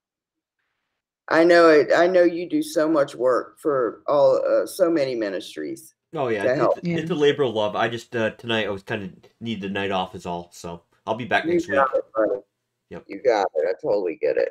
Uh, and Miss, thank you so much. It's always good to see you. And Sister Lisa, thank you. I have to do something on my channel soon because you know I haven't had a live live stream yeah. to do right. one. So uh, yes. we'll we'll do a special one before Christmas sometime. Okay, that sounds awesome. Your right. kisses to you, sister. Thank you so much. Love you, Renee. Have a good day at church tomorrow. Thank you. Love you guys. Good night. Good night. Good night, sister. Good night, Renee. Okay, we said good night to our guest, uh, Sister Angel. We're going to go on for just a little while longer, not much. I told you it's going to be a shorter broadcast tonight because I want everybody to get rest. We've we've all been under a lot, and I know uh, I've had a lot more attacks. And and I was talking to another sister about this last night, uh, well into the morning, as a matter of fact, about this how the psychic attacks and spiritual attacks have increased like I've never seen in my walk as a believer uh, in these last few months uh, since all of this craziness has, has started and everything. And a lot of other Christians are saying they have had the same experience. So uh, when you're doing spiritual battle against these entities and whomever is sending those spirits, usually witches. I know whenever I start talking about witches, people start thinking I'm just making this stuff up. Like I'm just I like I created the word witches. I mean, it's just they're real. I mean, they exist and they are the enemies of Christians. Uh, I think Sister Andrew you need to mute yourself. Oh, sweetie. Oh, sorry, sorry, sorry, sorry. No yeah, problem. I something in the fix. No problem. But yeah, no, I agree. Uh, but those people need to understand witchcraft is not. It's not just people in hats. You know, right? Broomsticks. You know. It's yeah, it's it's they're agents of the devil, and really, they we I don't know. Most Christians aren't taught this. They are your they are your sworn enemy when they've hollowed themselves out for evil. They hate Christians and they they will lobby attacks against you. And sometimes when all hell's breaking loose, it's an attack. And so you you know you need to get into prayer and seek the Lord. You may have to fast some because you don't even know where's Lord where's this coming from. So you know the Lord will reveal these things to you. Hey, somebody's coming after you in a in a psychic attack, and you're gonna have to do battle. You can't just always ask somebody else for prayer. There may be a time you can't get a hold of anybody else. Then what are you gonna do? Okay, you need to know how to pray and stand up and fight and contend against uh, the children of the devil yourself. Right here in this book, you know, Ephesians 6 talks about it, but also uh, prayer, y'all. Prayer is one of your offensive weapons as well. And you need to learn how to pray for yourselves as well, because there may not be a time you can get a hold of anyone and ask them to pray. Okay. You will have to stand up and pray and fight against them. You should be doing that anyway. All right. But anyway, um, we're not going to carry on too much longer. Sister Angel, we're going to spend maybe about 20 minutes or so here talking about women. Uh, we wanted to continue from last week. We had talked about men, and we I think we came from a different perspective than people thought we were going to come at. I think they thought we were going to attack men, which just wasn't wasn't our intention at all. Not we want to do, and we're not going to uh, attack women tonight. But we had gotten into a phone conversation about this, uh, or, or actually was a hangout afterwards um, talking about this, and we talked about that problem and issue that we saw with men. And then we also talked about one of the issues and problems that we saw with women. And I wanted you to go ahead and share those thoughts with our our audience here tonight. All right, I'll I'll start I'll start off at least. I don't want to go on another monologue. So, um, so you know, one some of the things we were talking about was how well, I started by saying how I, I'm at the point now where I don't even want women to have the right to vote because I'm so frustrated with a lot of the things that have happened in the country ever since uh, it became very common and, you know, I guess uh, legal for all women, not just, you know, landowners and stuff to vote. If you look at actually the trajectory the country's gone down um, in in combination with it's not just that women were voting, it's also it was in combination with the fact that marriage uh, when you know became something that was more and more uncommon or something more and more optional to people and um, you know and then of course women entered the workforce and uh, it was kind of like women women be, were able to to then kind of vote for their own self-interest which was a lot of times against the interest of of the family against the interest of uh, of you know marriage. And when women got political influence you know it seemed like it coincided with the with the destruction of the traditional family unit. Because um, for instance the you know well when you know women are able to vote themselves let's say you know more benefits from the government um, and uh, you know and support these policies that make it unnecessary for for them to get married um, and of course you're incentivized to have children out of wedlock um, uh, and uh, and and the more children you have out of wedlock, the more the more uh, welfare you receive. Uh, that's one of the things that has, you know, I believe it was just a targeted attack on men and women and children when they started incentivizing these broken families. But um, uh, I just, uh, we were talking about how because they have made men and women rivals as opposed to complementary, like partners, like two halves of a whole, we, we've now become rivals to where even when you do get married, uh, a lot of times the you're you're you're kind of like living as as as as, uh, as competitors because you're both trying to work you're both trying to be breadwinners and then you're co-parenting at the same time if you have children as opposed to dividing the labor in a way that actually makes sense where um, uh, the man can you know go out and be the breadwinner which i would think nine times out of ten he's probably better suited for that uh, for that activity for that for that responsibility. And the woman uh, can actually uh, stay home with the children and actually devote her time to raising them which is it's just very difficult to be a mother and have a job. A lot of women don't have the choice but and those women i understand completely. Like if you're a single mom i totally i mean i'm not judging you at all. You've got to do what you got to do. And listen my husband is an incredible phenomenal man and he was raised by a single working mother. And he you would never you would never think it just from his character you would never think that he was the the, the only son of a, of a single mother who you know without he didn't have a father. Uh, his father you know abandoned him um, she was an exceptional you know she is an exceptional woman though. Um, but uh, so i know that that there's plenty of exceptions to this rule. But on average one of the things i really i really hate now is because i was i was like this too.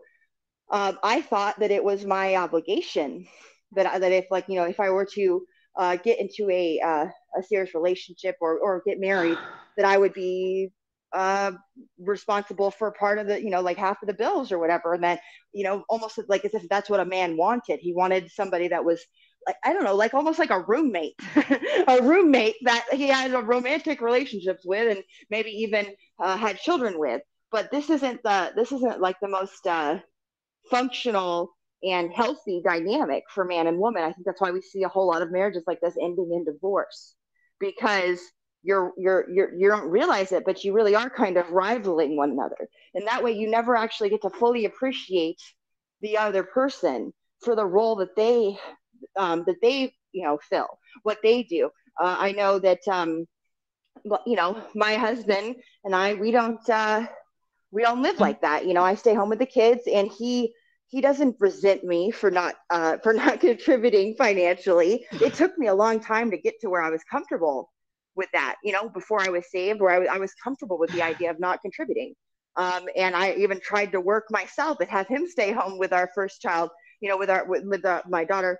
Um, uh, initially, and it was ridiculous. And it, you know, he he uh, he stayed home, but it was good though. It was like it was a good experience, but it was just totally out of whack and out of balance. And I was doing it out of guilt and shame because I thought that I needed to prove that I could do like as if that was you my job. Actually... I needed to prove that I could be just as much a man as he was, or that I was not bringing pulling my weight in the relationship. You know what I mean?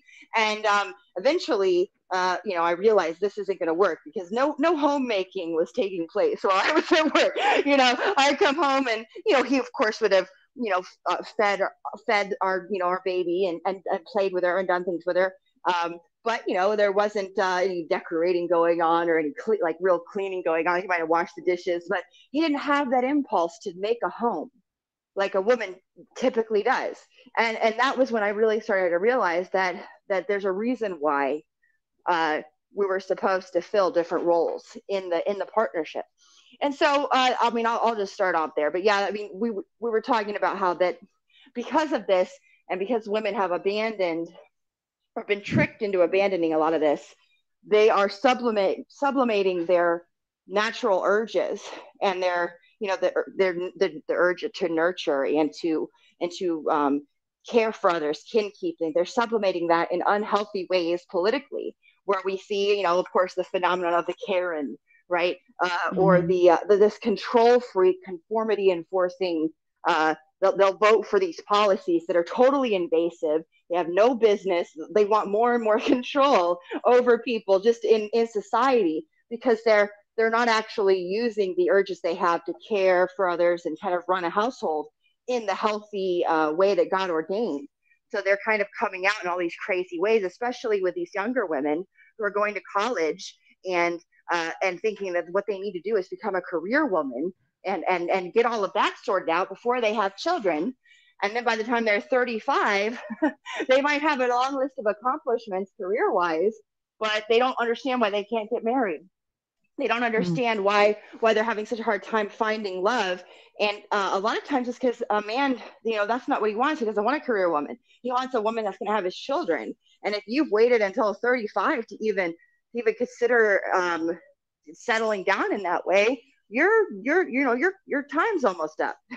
You know for a lot of women at least uh, um, uh, you know you're, you're you're not as appealing and and and these women are just like and then they get filled with rage uh, because of of you know and bitterness. And you see a lot of like liberal uh, women that you know have been in college and working um, all their life and they, they get really angry and contemptuous about men.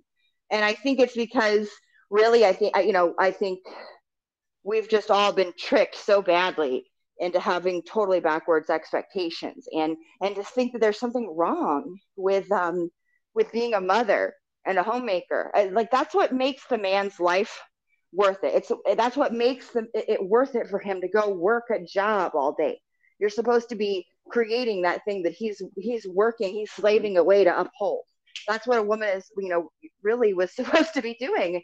Um so that he felt motivated. He didn't have any problem doing, you know, you know, working all the time. Because I mean, you know, the average man that's what he'll do. He'll he'll spend almost all of his life just working, and that's why they usually die earlier. But it's worth it if he has um, a family at home and a woman who's actually making a home, as opposed to a roommate who's also who's working when when he's home and you know and she or she's home when he's working they're trading off shifts and she's you know if you're doing that all the time it's not as easy to uh to to to to make the home and to really just be there to tend to the emotional needs of the of the family and of of your husband. Now i know it's not possible or a lot of people think it's like they have to work right? Like uh, now listen my husband does not have a very super well paying job. I mean i think he makes like it's hard to calculate because he gets time you know he gets uh he goes on call and then he makes like a lot more money than he you know like the 20 something 23 an hour he makes normally.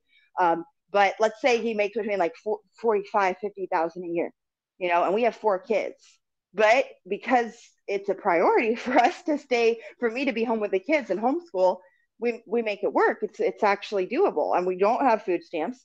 Uh, uh, you know I, we'd actually qualify for them because we have our fourth child. We have enough kids now where they they would consider us eligible i believe but we don't have them. Um, you know we have t- two vehicles uh, we we have we have what we need. Um, we don't have like money to go on like vacation just whenever we want and uh, stuff like that. But I mean, I think it's a it's a worthwhile trade off uh, to to actually be able to stay with home with my kids. And I think that um, I, I truly do believe though that that men have to be more assertive in this way because a lot of women, I know I was like this, we think that's what you want. We think that you want us to work. We think that you would resent us if we didn't right? And you probably think that it, that we'd be mad if you told us that you didn't want us to work. So there's this communication gap, I think, uh, where where uh, we think we're not allowed to want to have this traditional uh, marriage anymore. But um, I'm not sure if that was the direction you wanted to go in, but that's just kind of me starting off with it at least, because uh, I we, we talked for a long time that night. Lisa.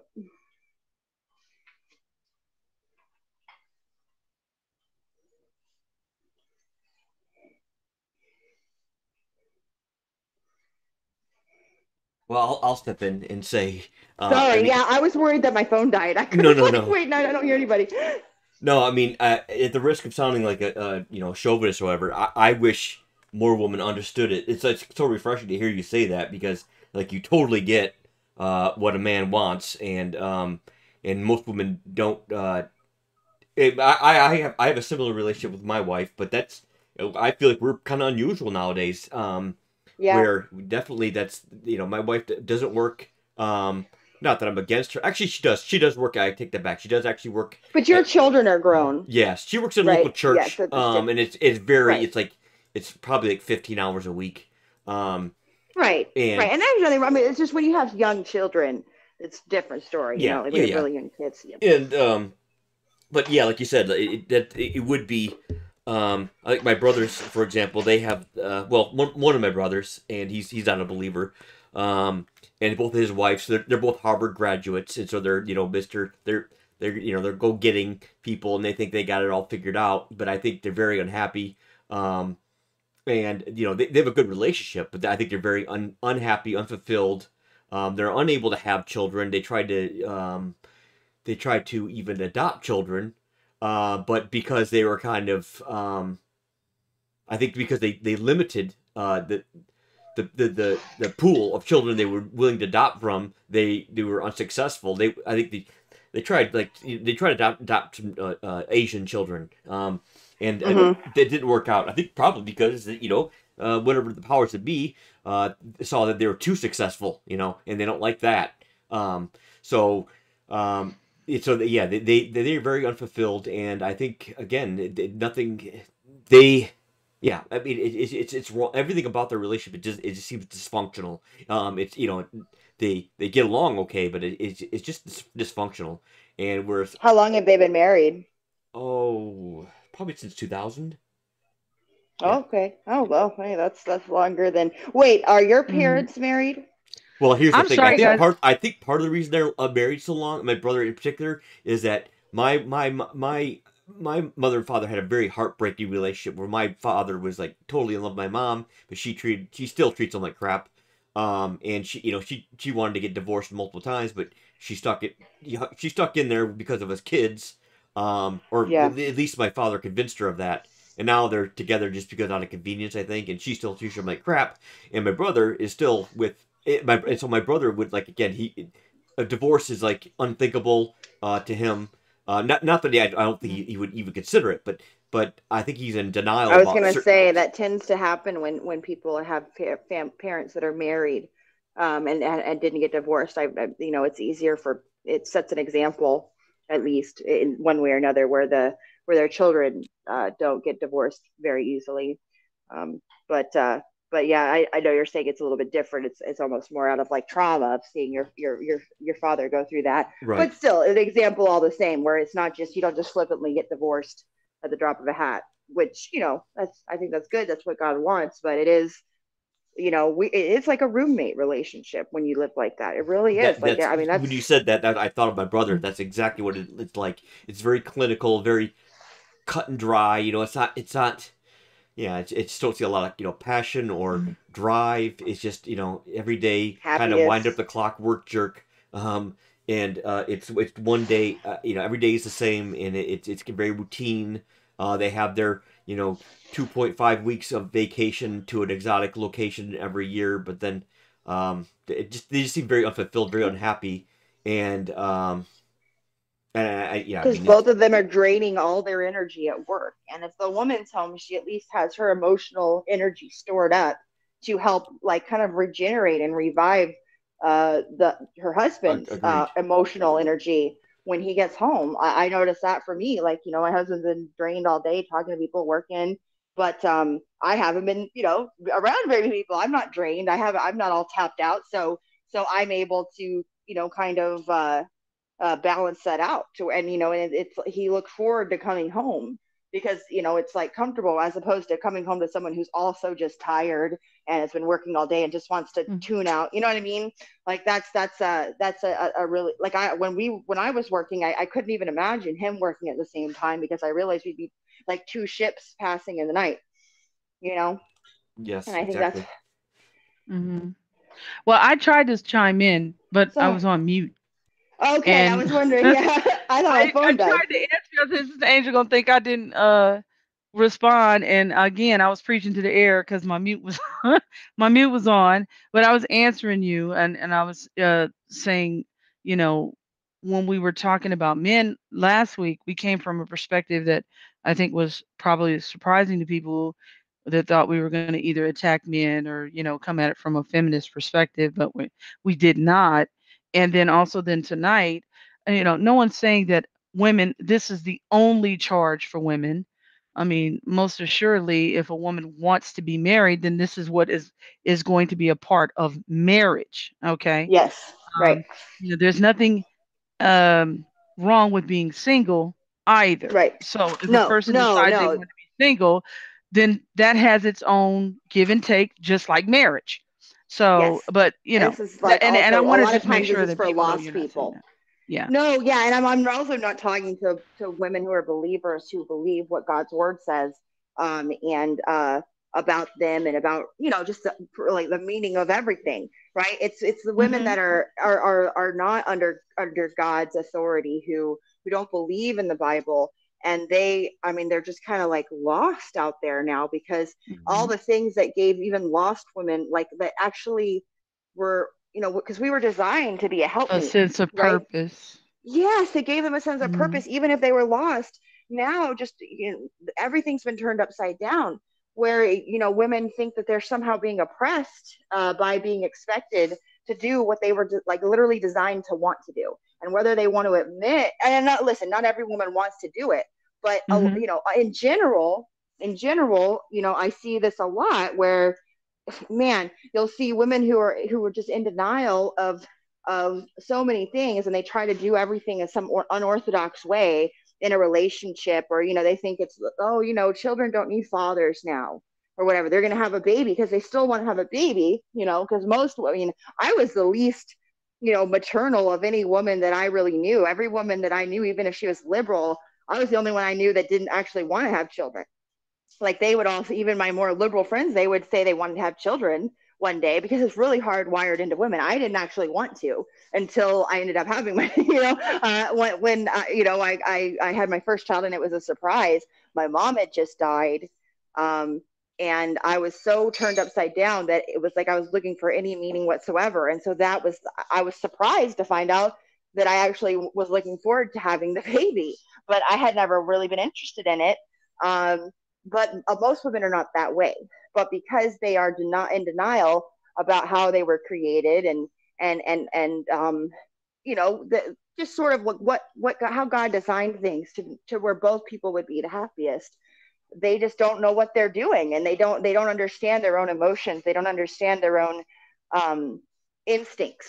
And so they a lot of them get very bitter and they think that they can like you know when you're young you think you don't want you know you don't want a family or you think that you don't need that to have meaning and you think that your career will give you meaning or something like i mean we're raised now as, as girls and boys to think that that's what our ultimate like fulfillment in life is is whatever job we work. You know this applies to men and women. I mean you know we're told to go to college and really pick the right career so that we can love what we do right?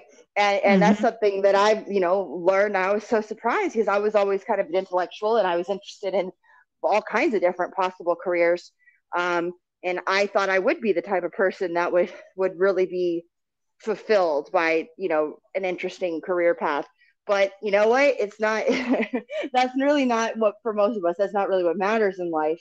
And once you but see for women see you know men can often have ha- start over even late in life because they can still have children but women can't. And Mhm. um you know a lot of times and it's one thing if you've consciously made that decision and you you know who you are and everything but these you know younger women who are not under god's authority they don't they don't believe the bible they they are just they believe whatever like crazy programming the media has indoctrinated them with growing up uh, you know about feminism and all that stuff. And then they they only realize how lonely they're going to be um, when it's too late. And they don't have god to lean on. You know they don't have they don't believe anything. And that's when they become very angry. And they're a lot of the ones i truly believe are pushing abortion.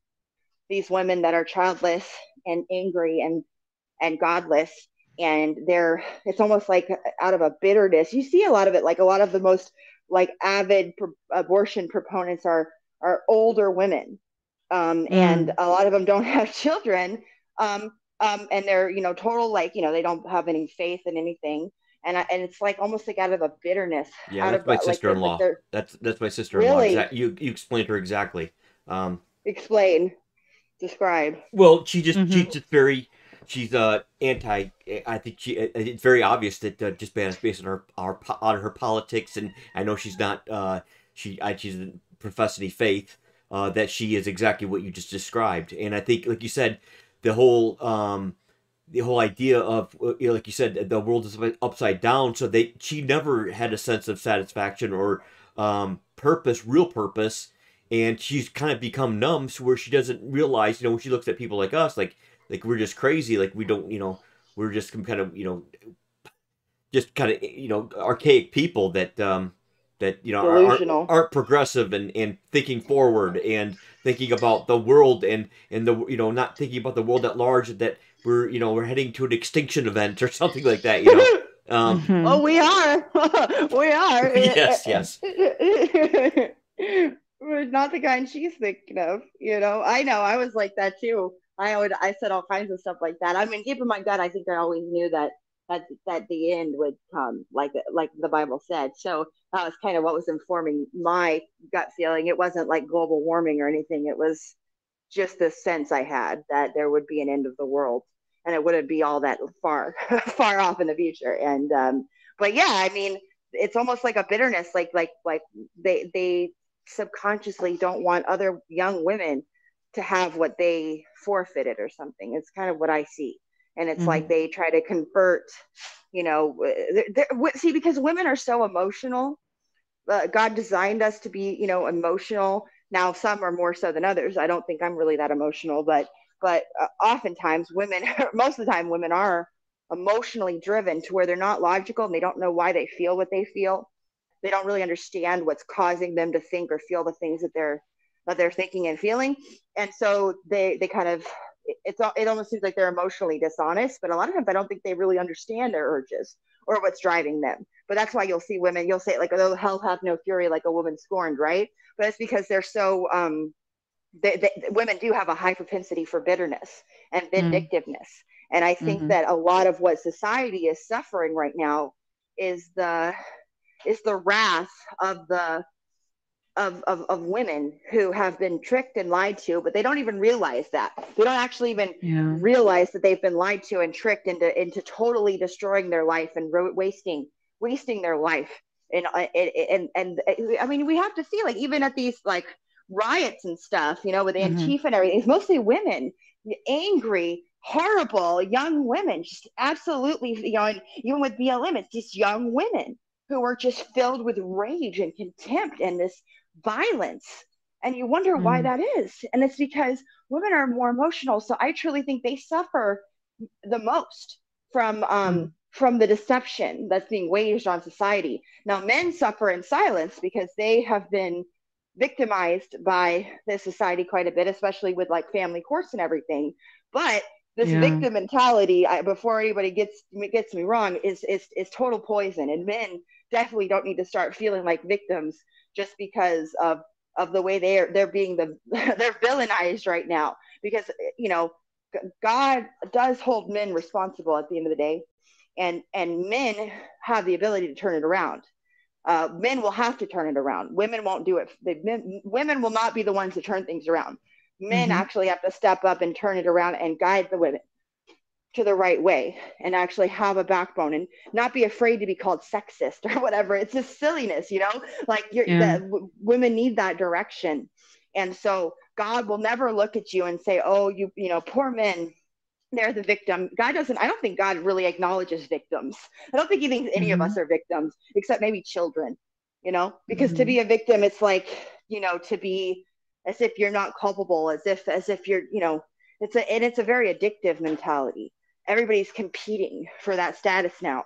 And um, and women think that they have it handed to them on a platter. They they have just this chip on their shoulder about everything. They think that you know eh, eh, when in reality men are men are extremely good to women especially in the west. And that's not always the case especially in other areas of the world and other times you know uh, in history. Um, but because of christianity's influence i believe west women in the west have been have had the had the best of it at least, and mm-hmm. they're the angriest at the men. Isn't that funny? Mm. Isn't that funny how that works? because yeah. the, they're, they're the ones so full of contempt toward men, even though um, they're the most sheltered and protected women in all of the world. Really, I mean, if you compare it to to like Islamic societies or Indian, it, like Indian women. I mean, they're you know Mhm. you wouldn't think of Hinduism. Uh, people think of it as like a as a fun, you know, happy or you know, lighthearted religion or something. It's just like like kooky or whatever, but it's actually very very hateful towards women. The widows are supposed to be burned on the funeral pyre alive when their husbands die.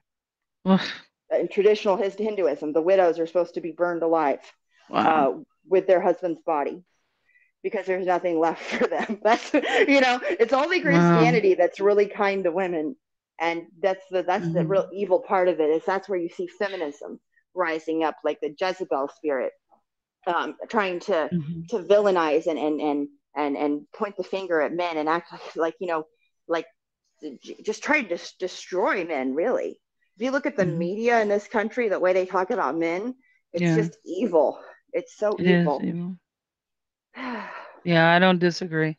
I, I that's why you didn't hear me say much because I I don't disagree with the the points that you're making, sister. There's there's a whole lot they flipped upside down and turned inside out and and jacked up in our culture. And I think even to some degree, the whole concept of people even leaving home as early as they do. Right. What the heck is an 18 year old gonna do? Starting out on Right. their own, struggling. No, you're supposed to stay and be a supportive role and member in that family I and agree. help and grow and nurture. And once you're strong, once you're secure, maybe when you have the money that you done saved up to pay outright cash for your home, you know, and it's still possible you might not be able to live in certain areas, but there are still places you can buy a house with land, very affordable. If you Yep. work hard and save your pennies, you can do it. It still can be done.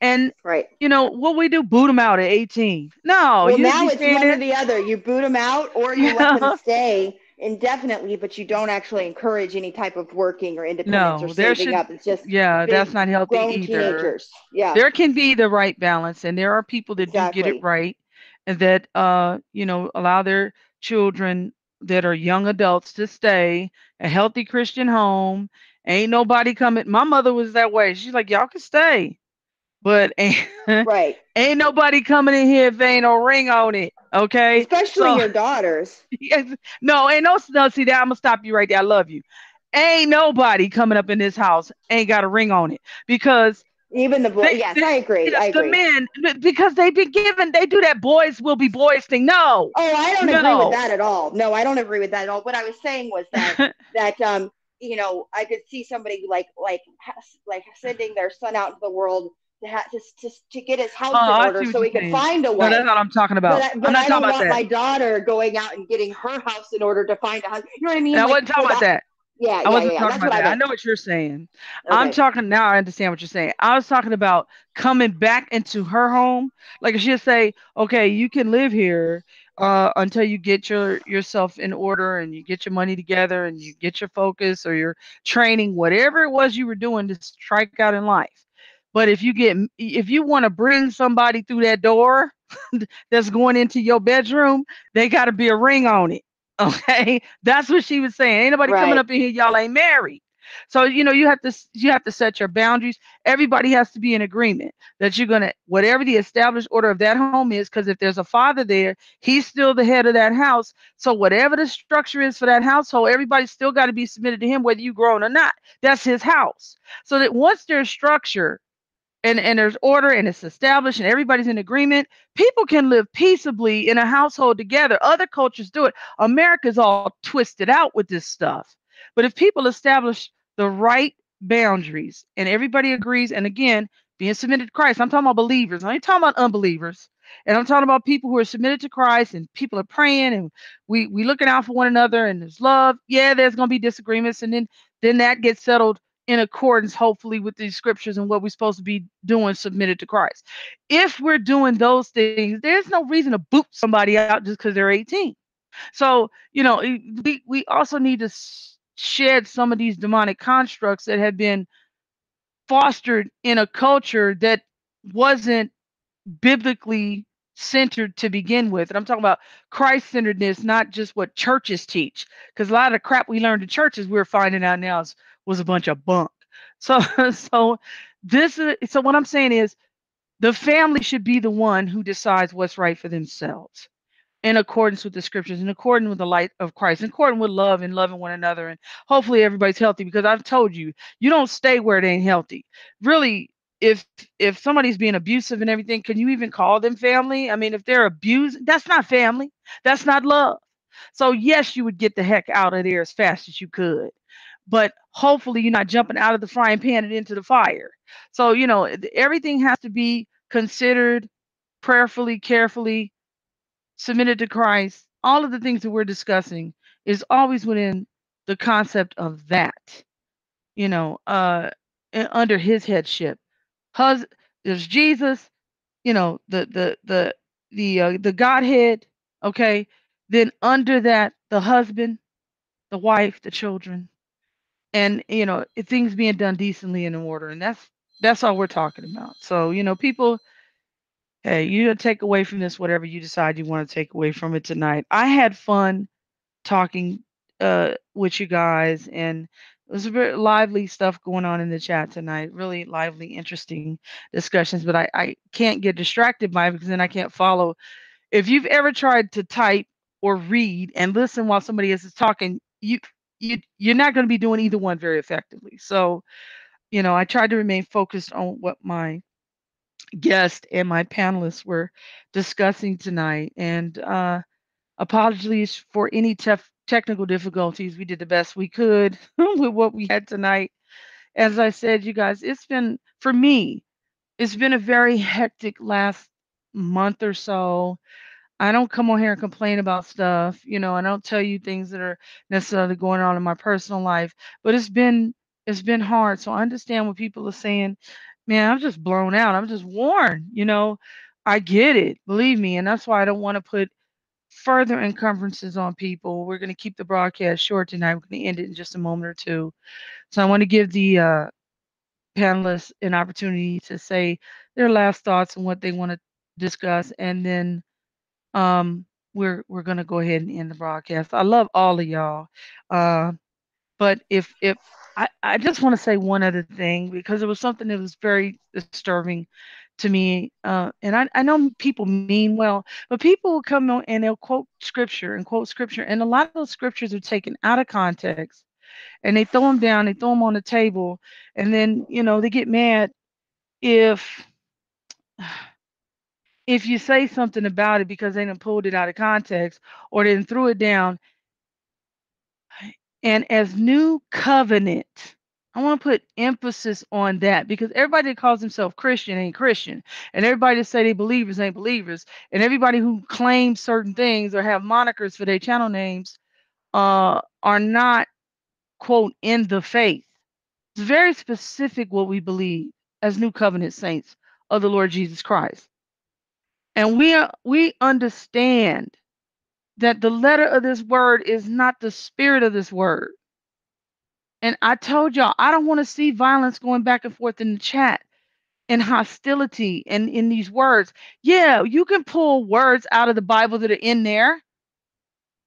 But if they're being in, used in a way that is attacking someone else or attacking any groups of people, I'm going to say something about it and I might delete your comment because that kind of thing should not be going on. And I don't want to see it in my chat. And I don't care if you never come back. I don't. I love everybody, but I'm not going to buy foolishness. And spirits of hostility will not ever be welcomed here as directed at any group of people. Now, if you're describing uh, what is actually going on in a particular religion and I think everyone here does try to be very careful about the language they use because we're not attacking people. The Bible says in the book of the Revelation of Jesus Christ, and I'm paraphrasing, there's going to be every kindred and tongue and people and nation. And that has always been the Lord's objective. So, you know, please, I'm going to ask y'all, and then I'm telling you, this is the only warning I'm giving. I'm telling you right now if I see hostility and violence in language directed at anybody in these chats going forward, I'm going to block you. I don't want to, but I'm asking you to police yourselves. I keep asking you, and some of you are being very hard headed. So I'm telling you, I'm not going to buy that foolishness. It has to stop, and it's going to stop tonight. I love free speech. I'm all for it. You can say anything you want to say, but there's a way to say it. I don't want to have to address this again.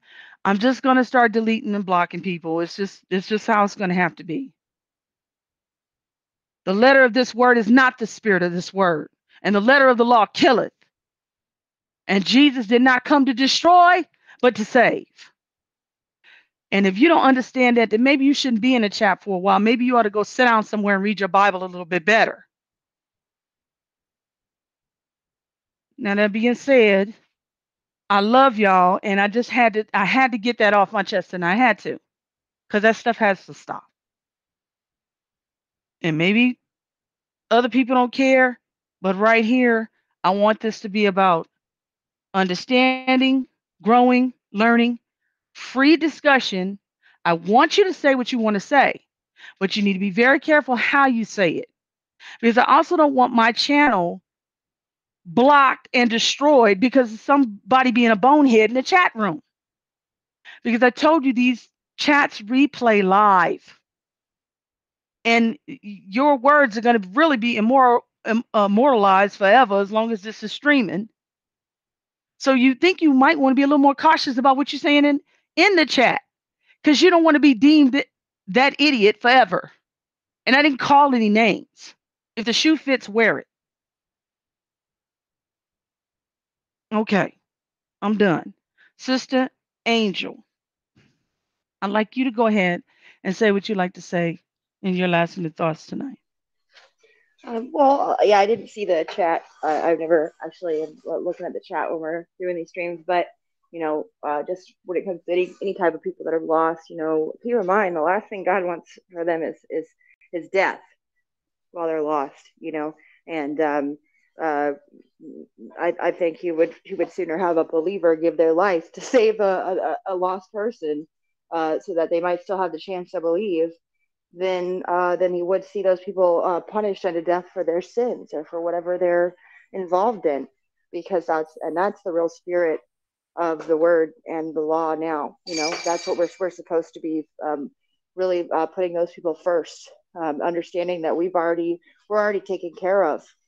And also um, you know it, it's hard to speak that way without coming in a spirit of pride as if as if you know yourself as an unbeliever was somehow any less offensive to god than than these people. And uh, i really try to check myself on that because i know that um you know that that that i i was you know wicked beyond all imagination when when i was when i was lost and i wouldn't and i would have thought i was a good person right? So um uh, I try not to look down on any of the people that are, you know, uh, involved in things that, you know, of course, the, the, the, the God's word says are sin, even even extreme, profound sin, um, because I know that they're they, they're just as lost as I was, and uh, and and God's looking for them, you know, and He's uh, wanting nothing more than for them to, to, to find the truth and to and to accept His free gift, and uh, and then He can He can start renewing their mind and uh, and, and and showing them the error of their ways. Uh, but um, yeah, it doesn't ever do us any any good as as believers or people trying to reach uh, unbelievers to to come in a spirit of hate and judgment because that just uh, hardens people and makes them feel judged. And it's that's not there's never any um, I don't really see, see how there's ever much of a point in that, except for you know I guess in the rare case where you want to strike fear into their hearts that maybe they would uh, they would turn to the Lord. But in a lot of cases, you know, those, especially nowadays, that's a very hard thing to do. That's a hard kind of person to find because so many people are convinced that they're right because the world has made sure of that. The world has made sure that, that, uh, you know, everybody gets to feel somehow that uh, they're entitled to, to whatever they want to do and, and whatever they believe and whatever their proclivities are and that uh, for you to have any opinion about it whatsoever is is judgmental and that's the ultimate sin right in today's world having any standards whatsoever but but um yep and i just uh, uh, uh, had a had a great time tonight and uh, i'm not sure are we doing a broadcast next week i didn't know if as i knew you were taking off uh no as a Okay. matter of fact, I, they will not. I will be putting up a video for next week, uh, Okay. in at the eight o'clock hour. But next week, I'll, we will be taking a rest. Uh, one, you know, I don't know who observes the holiday and and who doesn't, uh, which is really not the issue. I do like to take that one day a month to spend time with my family and also time in prayer and reflection about, you know, what we're going to do next in the, in the coming days Yeah. ahead. Uh, also, I want, as, as I said before, I want you guys to be able to have a break and just rest and enjoy time with your family because I do appreciate the fact that you guys are giving up. Um, I know it's later for you, so you spent most of the Saturday with your family, but I still want, you know, even if you did have a busy day with your family, you're pretty much worn out by the time you get time to uh, settle down and do this broadcast if you had a long day. So I always want to be cognizant of that for you guys. So, Brother Ben, Yes, ma'am. what would you like to say to the people this evening in closing? Yeah, I'm not. I- I'm not sure exactly what was going on in chat either. Um, so, uh, but um, like I, was- I, I'm not. I'm not able to watch it as much as I want to. Um, I a lot of times I'll go back after the fact and look at it. Um, but yeah, I think I think you're right. Uh, we, we, you know, God doesn't. Uh, you know, Jesus rebuked uh even his disciples when they were saying, "You should we should we uh draw down fire from heaven?" He said, "You don't know what spirit you are." Um, you know, you know, we we are uh, not look look look at con- con- condemning people, um, but but like you said, to save people. That's what we're here to do. Uh, not not that we're actually doing the saving, but to to evangelize, and that's what we're here to do. Um, but um, yeah, I mean, the next time we uh, are able to um, uh, join again, I'll be ready and raring to go with something more substantial to talk about. Um, I also been going through some stuff lately, personally, and then just with just some various drama going on, it's it's taking its toll, and it just need it kind of stymied me for a little bit. And so, um, I, but I'll be ready and, and more than more than happy to uh, be a full participant next time, and I'm looking forward to that. Um, but uh, a, a great a great discussion again tonight. I just like it's so great that every time I uh, we get together, it's like wow, it's just like it's just you guys confirm the same things that I think of, and it's like wow, okay, I'm not. It's good to have that confirmation because I I feel like I, I have an understanding of certain things, but when I hear from other believers who I know have the uh, that are spirit filled as well, it just it just um it's just really edifying, and it's just really good to always to spend time with you guys. Thank you, man. I appreciate it. And thank you to everyone that joined us this evening. I do appreciate you joining us for this conversation in our discussion about monarch programming and then women and what are the you know the problems and the trappings that we see and it's really is just a setup everybody's been set up to buy into these false demonic constructs that the system whatever group you want to point to and blame they're just one you know being in in the hill of beans that's used against humanity in general to bring everything down and against um, the Bible and the ways of the Lord and how the Lord would have us to be and conduct ourselves under His headship. So we, I think we all see that as believers, and I know for the most part we're preaching to the choir. But for those who might happen upon this video that may not be in a it's something for them to consider and something for them to compare and see what's going on. That we're all getting played if we buy into these demonic constructs. So I thank all of you again for your time. I'm so glad that you joined us this evening. And for everyone who is on the East Coast, good morning. For those of you who are still on the West Coast, it's good evening. Thank you again. Blessings, beloved of the Most High God, in the mighty name of King Jesus. Amen. Good night.